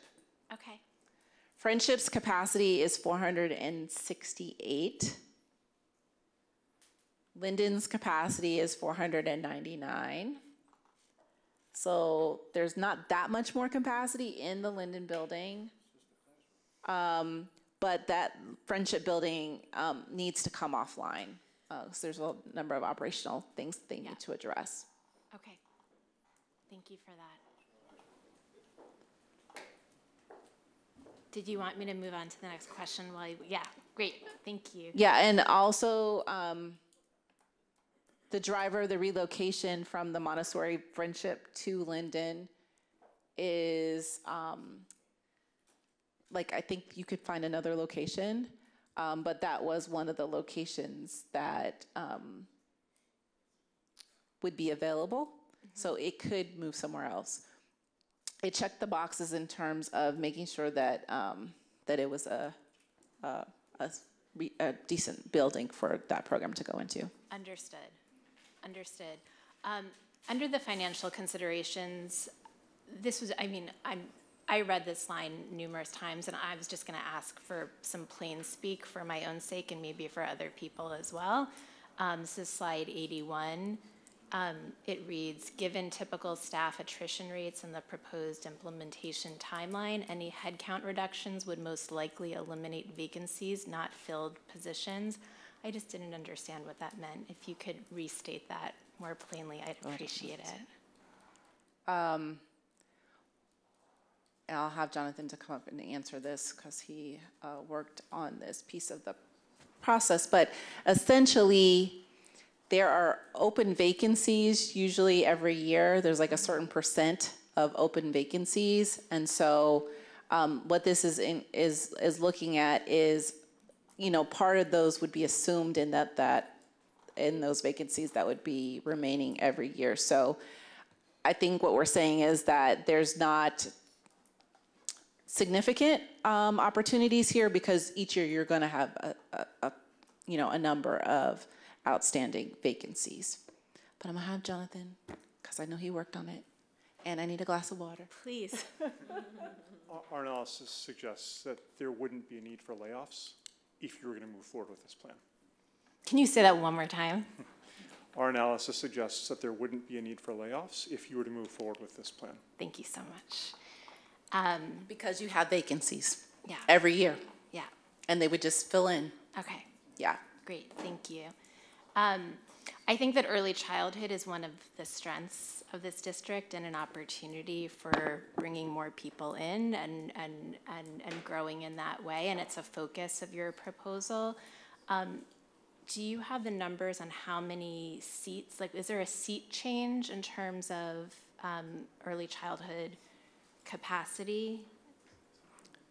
Um, one, I think it's pretty neutral. Okay. However, because you are now, um, you've got some, you know, uh, vacant spaces and, um, spaces within buildings, you could potentially bring on some additional early childhood, um, centers. However, I know there's a, um, the funding for that is separate. Okay.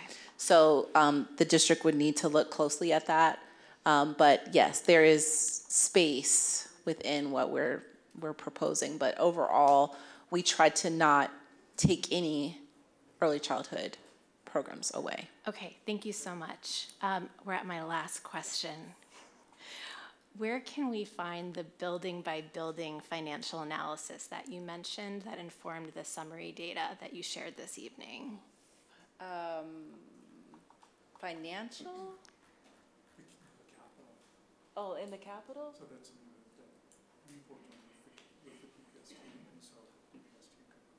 Oh, okay. Oh, I know what you're saying.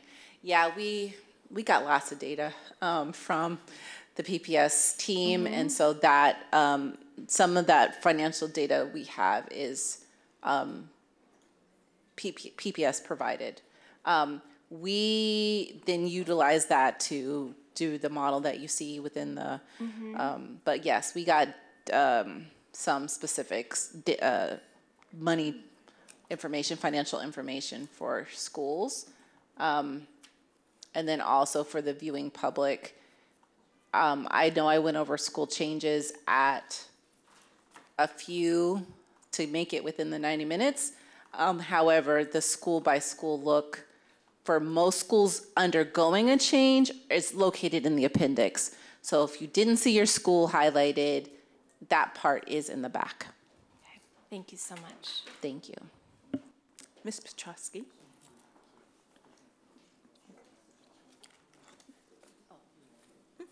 Oh, wait, before I do, I think um, I got the answer regarding transportation. Um, We did not use public transportation data in the analysis for a few reasons. Most notably, um, that the PRT is currently redesigning bus routes, which we were, we've been, we've known about uh, throughout this process. So using the current bus routes would not be accurate representation, given that they're in the process of redesigning theirs. Also, students who utilize public transportation are mostly high school students. You realize we're not doing a whole lot with high schools, other than um, recommending um, some specialized programming, CTE programming. So the majority of those um, were not significantly impacted by the school changes. So we did use, so if you have a question regarding methodology, we did use Google API to run drive time and distances between a school's current address and students, sorry, students' current addre- address and their school's address of what they would be rezoned to. And so the door-to-door times and distances we ran are proxy for public transit times. Okay. Dwayne.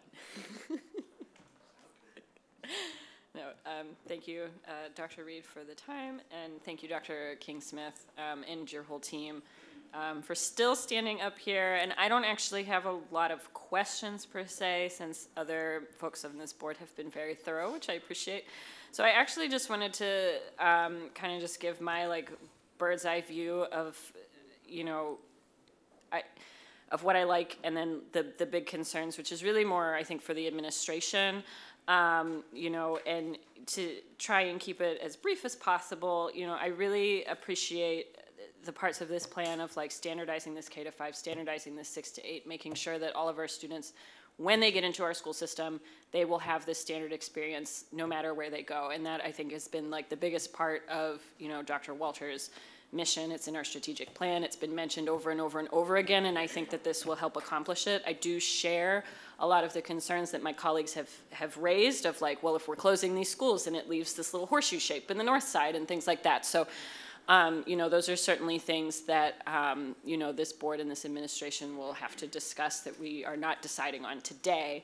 Um, you know, but just speaking from my own personal experience as somebody who went to a K to eight private school, that are supposedly having more resources, I didn't have access to music because my family couldn't afford it and it was not something that was offered. There are so many opportunities here, like through this kind of model of standardizing it, and I could even speak to my own family, looking in my district, going, okay, we have Roosevelt and we have Concord, and I want my kid to take music, we're gonna send her to Concord. So like we were already having this disparity and she's not even two yet.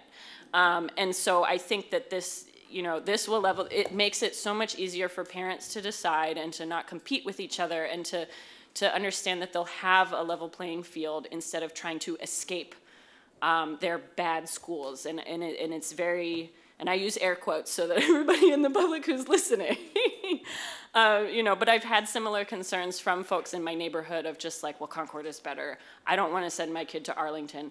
And, and you know, moving the, to this six to eight you know, speaking of Arlington, is like, I've done the safe routes to school with the mayor's office. It's not a safe route to school for K to five. There's hardly sidewalks anywhere, and at least middle schools would have a little bit more understanding and wherewithal of like how to walk to school, but also we'd be transporting fewer students, that it would actually be easier to bus them.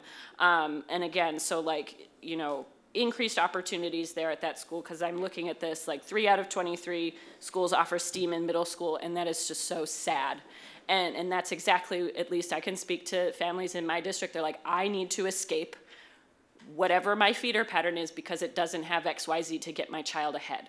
And so even if we, you know, if this administration and this district decides to like, okay, we'll have themes or whatever, at least there's still a baseline that that as these young people are becoming older people and becoming more of themselves at this middle school age, that is like such a sensitive age too, like they don't have to decide, you know, this school is better over the other, and, and maybe we'll still have these little weird pockets of it, but at least you don't have to try and run away from from your home, you know, from your neighborhood. And I get that there's other programming, there's special needs, there's ESL and all those things, but you know, even with these ESL centers, I think there's a huge opportunity for, you know, helping those ESL students find themselves in a new country and become who they're going to become, and also helping their parents, because even at Concord, they're also teaching adults ESL. And so I think that there is huge opportunity here not to just help our students and level that playing field, but level that playing field for our families as well.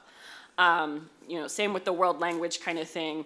This this algebra issue that it's it's just like leveling this playing field is going to put us at competitive levels too with charter and private schools that families won't have to decide. They'll have the confidence in the district.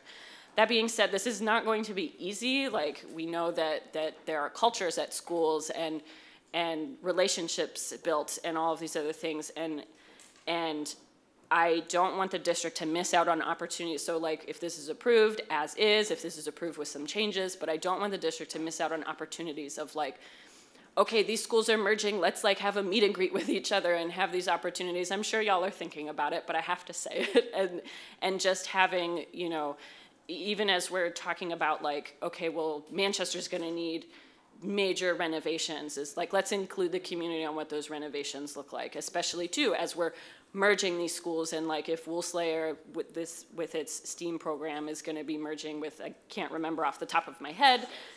Right but but so just just having that opportunity to be like here's what I love from Woolslayer here's what I love from Sunnyside and just having that opportunity for our community to build our schools and not just this board based on numbers and data which is all very important and we need just like informed and uh, decisions and database decision making but there, it, there are real feelings in it and there, there are real relationships in it and, and we, we can't forget that. Can I just speak to that real yes. quick? I do think that that there, again, is an opportunity for schools to come together. Um, I have seen in other districts the use of of committees and design teams to help to build or support the school plan. Um, the other thing I would say that was brought up in this district by your school leaders is giving leaders time to build the school design or the school plan. Mm-hmm. Um, bringing constituents together to decide on school colors, to decide on mascot changes, or even the school name. And I don't know what the pro- process is in the district, but I think that both naming the school, creating that school culture, um, that it should be collaborative in nature. Yes, thank you. And so I think my biggest concern, and, and Dr. Walters and I have had numerous conversations even prior to any of this planning coming to fruition, but of already existing vacant buildings. Two are in my district. There's um, School and Knoxville School, and I've had continuous questions from residents of both of these neighborhoods. They've gone to city council, they've gone to their state reps and all these things. And so, you know, and what's the, Fort Pitt is the other close, which is not in my district, but it's, what, in Greenfield, wherever it is. But, Garfield, pardon me, it's late. but so, you know, so there, I'm not saying like, let's reuse these buildings and let's bring them into this, and maybe there's opportunity for that too, but, but they need to be, and, and it's not ERS's responsibility, I don't think, but they need to be included in what this plan looks like too, because right now, like, I can speak to Knoxville and Bon Air as this is blighting the community. And we as a district, as we're going through this process, like while we are helping revitalize some of these neighborhoods with new schools and renovations and state-of-the-art things, we also can't leave spot blight in the neighborhoods as buildings are closed or reused. I know some will be reused and things, but you know, again, this isn't just to snap your fingers and and now the plan is happening. And so I know you guys mentioned like here's some cost savings because you're not paying utilities. But yeah, we still are, and it's not to the same degree. But so Right. we still need to maintain those buildings even while they're not in use. And so what I would really love to see, you know, and this is my government worker brain, but is like this is when we need to start relying on partnerships with the city, with the Urban Redevelopment Authority, with the county, with funders and all these things. I know these conversations are happening, but you know, the our controller mentioned that we're not following our resolution of working together with the city, and I know that there's like a whole thing about that, but there, it's a whole thing. But but in the spirit of that legislation, now is the time to start to do those things. Is because it, like this cannot be done alone. Like we know that we're going to be in a deficit. We can only borrow so much money, and it's not something that could be done alone. So like community, awesome. We also need money. Um, you know, and, and I see in my line of work very frequently charter schools come to the URA and we help them develop new buildings and property and things, and there is no reason that the public school system can't either. Um, and so, you know, those relationships need to be built, be stronger, um, you know, because we can't just leave a building empty for a charter school to scoop up. Like there, I know that we have policies that dictate, you know, how we sell our properties and what that looks like and things, but I think that there are still ways to be very intentional um, through partnership of what happens with empty buildings so that they can turn into like housing, teacher housing, or a community center or, or something else, um, you know, so that it's not just, so that people aren't just begging for it to be demolished like they are in Bon Air.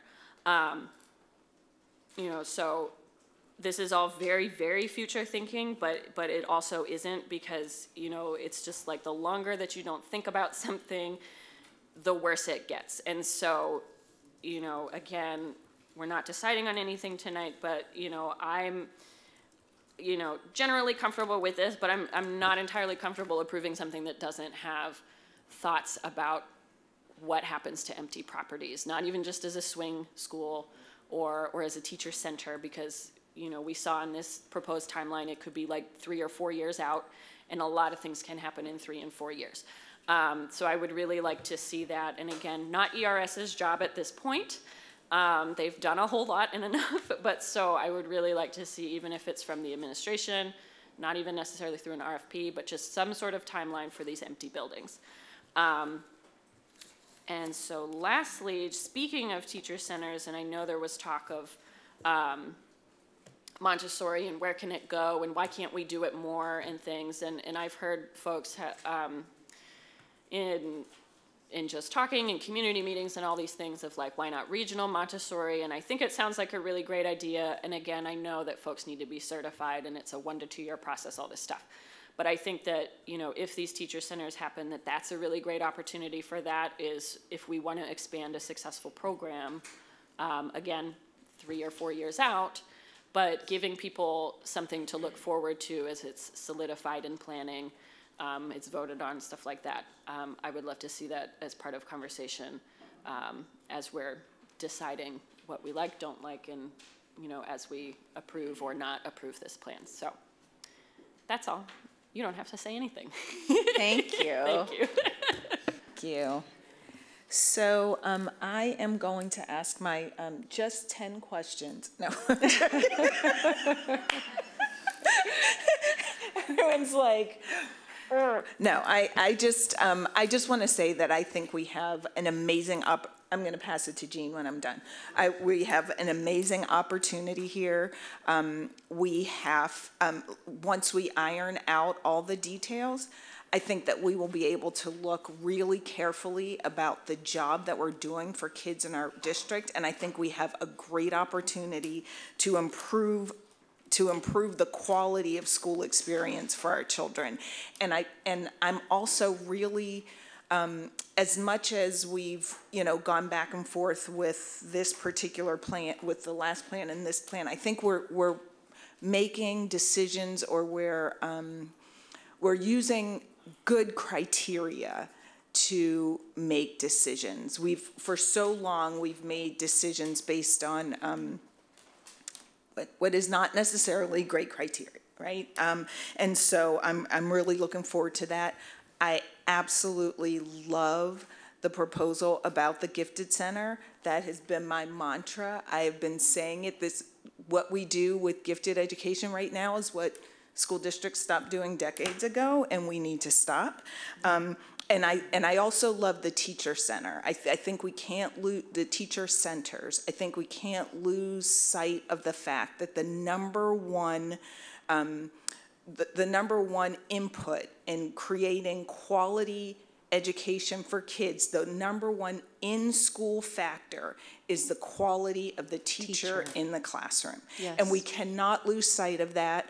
And, and that means that for all children in our district, we have the opportunity to create great school for all of our kids. And it does not have to be episodic. It does not have to be um, based on race, on gender, on um, socioeconomic status. So that's all I have to say. And Mr. Walker is going to finish us out. Thank you. Um, Again, thank you for, for all of this. I think uh, what I appreciate most, aside from the amount of hours uh, and time that you spent in Pittsburgh, uh, you're always welcome to, to relocate. Um, What, what I think was most important, though, is uh, between the first uh, proposal and this one is um, it- it feels like uh, that our community uh, was heard, listened to, heard, and taken into account, uh, understanding that not everybody gets what they want uh, in these kind of things. Um, I think it's really, uh, you should be applauded for the amount of time you spent kind of really listening to uh, the people in our communities. And, and that, that listening will continue after you all go back home because there are still so many decisions to be made. Um, and I'm not going to get into like the school by school, but I did want to ask just about um, the Morrow building. Uh, in the original proposal, it proposed moving the uh, six to eight out, moving the K to five to the intermediate building. Is that still the plan to uh, vacate the primary building as a part of this For? Morrow, Yeah, because they operate the K to eight, but in two separate buildings. yes. That is still the plan? Let me just verify. You can keep asking. I'm gonna look Okay. and or have. That's the only like school-based question I'm gonna ask. The- Yeah. The other two, uh, Roosevelt, I know the answer to. Morrow, I can't remember, so let me, let me. the other one up. moves on to transportation. Uh, Okay, And so I know that um, you conservatively kind of gave a, a, a net neutral. um, But in my brain, uh, it, it just seems to reason that by um, standardizing as best we can that K to five experience, uh, seeing that our K to five students are the primary users of yellow school buses, uh, that we would see a significant change in how we access and use school buses around the city, which potentially brings significant savings. And I'll use my neighborhood as a, as an example. I live in Brighton Heights. Um, there may be fifteen kids waiting for a school bus on any given morning, and there are seven buses that come to pick up those fifteen kids to take them all over the city. Under this plan, theoretically, they would go, they would either walk to school or be at a school, you know, two, two and a half miles away, in which case you send one bus to pick up fifteen kids Correct. And take them. So, I don't wanna like, uh, overspeak, but the transportation director did see that there could be some efficiencies, um, here, but they wanna really be able to do their due diligence with, by mapping, sure. um, which is why we, um, have it as a cost neutral. No, I get that. I'm just, you know, in my brain, it's like, if I go from five buses to, to one bus, that saves me a lot of money, saves me a lot of time. Uh, understanding that then we, we, because we're moving our six to eight students, you know, that changes that number. Like, I, I get where you're getting it from, but the transportation concern that I have is most specifically for our youngest, uh, our youngest kiddos, uh, because they are the ones more likely to fall asleep on the way home because they have a 45 minute bus ride and then end up at the bus depot, which is not the place where they should end up. Uh, and so, thinking through that, right, keeping our kids closer to home They would be uh, in the early grades and as they get older, and as parents, as we're willing to let them go further and further away from home, it just makes sense. So, um, I think there's some significant savings there, but we can get into that. I think there's opportunity for sure. I, I think so too. Yeah, I think there's opportunity. Um, I do want to answer your question about the Morrow Intermediate. It would house the K-5 and the primary building would close. Okay, that's what I thought. I Yes. just wanted to make sure. And then there would be potential construction that happens at the intermediate building to increase capacity. Cool. Yes. Um, the last one that I want to get to is your timeline, your implementation timeline, because I think that Yes. the dates are off and people are going to lose their minds if we don't uh, clarify that. Um, so I know that uh, on that slide it talks about spring of 2025, uh, but there is zero chance that we're changing schools mid-year on people. And I just So what I mean by that is that the action would take place, Okay. but you wouldn't actually change anything in the school. Okay, so that So- makes that makes a difference. So it's Um, the end of the school year that the change would take place. right. Yes. No, we are not changing anything this school year at all. I, was just following the, the Facebook comments and people were like Thank you for, out thank you for letting me know that. So they were gonna, we were gonna nothing changes this school year. Everything has to be uh, voted on. And what changes we're, we're making is that it would be voted on for the following year to be applied. Okay. I just wanted to clarify that for folks. So, uh, Let me go back. so when you talk about year one, then you're talking about, um, year one is the approval year, the, the, the year that we are, um, taking the recommendations, making the approvals. Year two would be the first year of Yes. implementation, which would look like that twenty-six, Yes. twenty-seven school year. Yes. And then that three-year kind of phase-in would run us into like 28, 29. That is right. Yes. That, I just wanted to clear that up because I know. Sorry. Yes, No, I thank you can- for clarifying that. I can just see my email and everyone's email going crazy tomorrow. Um, So I wanted to make sure if anybody's still watching, Global. they are. Um, Okay, that was my last question, and if you don't have any more comments, I wanted to move us into kind of what I think the path forward is. Is that okay with everyone? All right. Well, thank you all. Thank you both you. very much. Um, Here's what I think, and feel free to push back, say no. Um, um, But I think the next step uh, should be us asking Dr. Walters and his team to look at this plan and provide a feasibility report. Um, And if you guys are okay, I will ask him while he's sitting next to me uh, to within, you know, the next week or so, give us a timeline of when that could happen. Um, Yes, Sorry, my only, my concern is that as we're going through Council of Great City Schools training and, and all of this, I think at least waiting, like, Dr. Walters can do whatever he's doing, but I don't think we should be, like, necessarily talking about or thinking about this plan until after our retreat on the twenty-sixth, because isn't that where we're supposed to kind of like set our, like, board, like, goals, guide rails, and all those other kinds of things? I feel like that sequence would just make sense. Yeah, I think that's fine. I, I think if he, you know, in the next week or so, because our, our next, our training is on the twenty-sixth, so about ten days from now. Um, if he, in the next week or so, says, I need X amount of time before I can talk about the feasibility of the plan, would that make sense? Yes, Okay. thank you. And so just, and this is more for, for the public, so here's what I imagine, and, and, um, so the superintendent will, will look at this and tell us, like, does it make sense, does it not make sense? Is there other suggestions or recommendations? We know that there is a community plan that has been presented that will get out to the public in some form or fashion in the next week or so.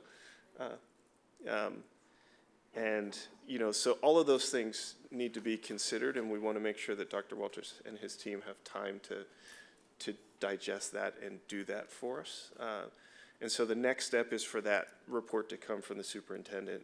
And then after that, that's when I think we would start to talk about a potential vote. Uh, And so I think we're still weeks away, like several, maybe five, six weeks. Um, But I think, I think that makes sense. And so if no one disagrees, Sorry, Mr. Walker, and also, like, again, as Dr. Walters is doing this work, but, you know, if we have other questions, because I think it was Ms. Silk or Ms. Taliaferro who asked this before, of like, well, what if as we're reading this, we have questions that we want to get back to ERS? So should we also, like, set a time period for ourselves to get questions to Dr. King Smith, to get back to us, to get to Dr. Walters?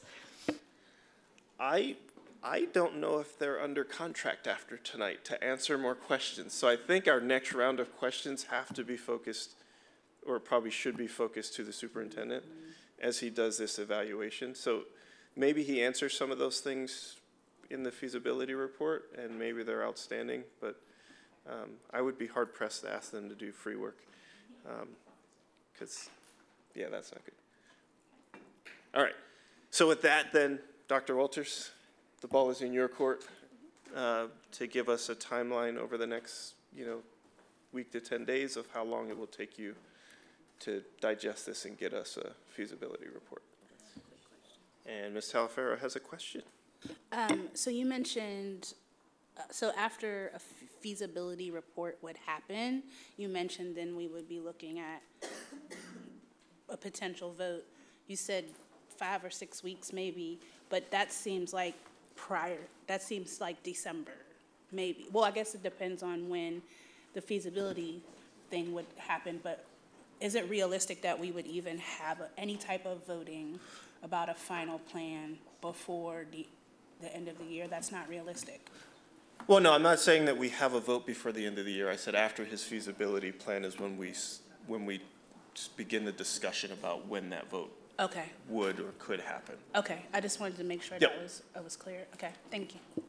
And I say that because every time we have one of these presentations, someone asks me if there's going to be a vote next week. And so, no, there's not going to be a vote next week, uh, and likely will not be a vote in November um, until we have a discussion. And that discussion will happen in a forum similar to this um, so that everyone knows what's happening. So I will turn it over. I'm all done. I'll turn it back over to you, Dr. Reed.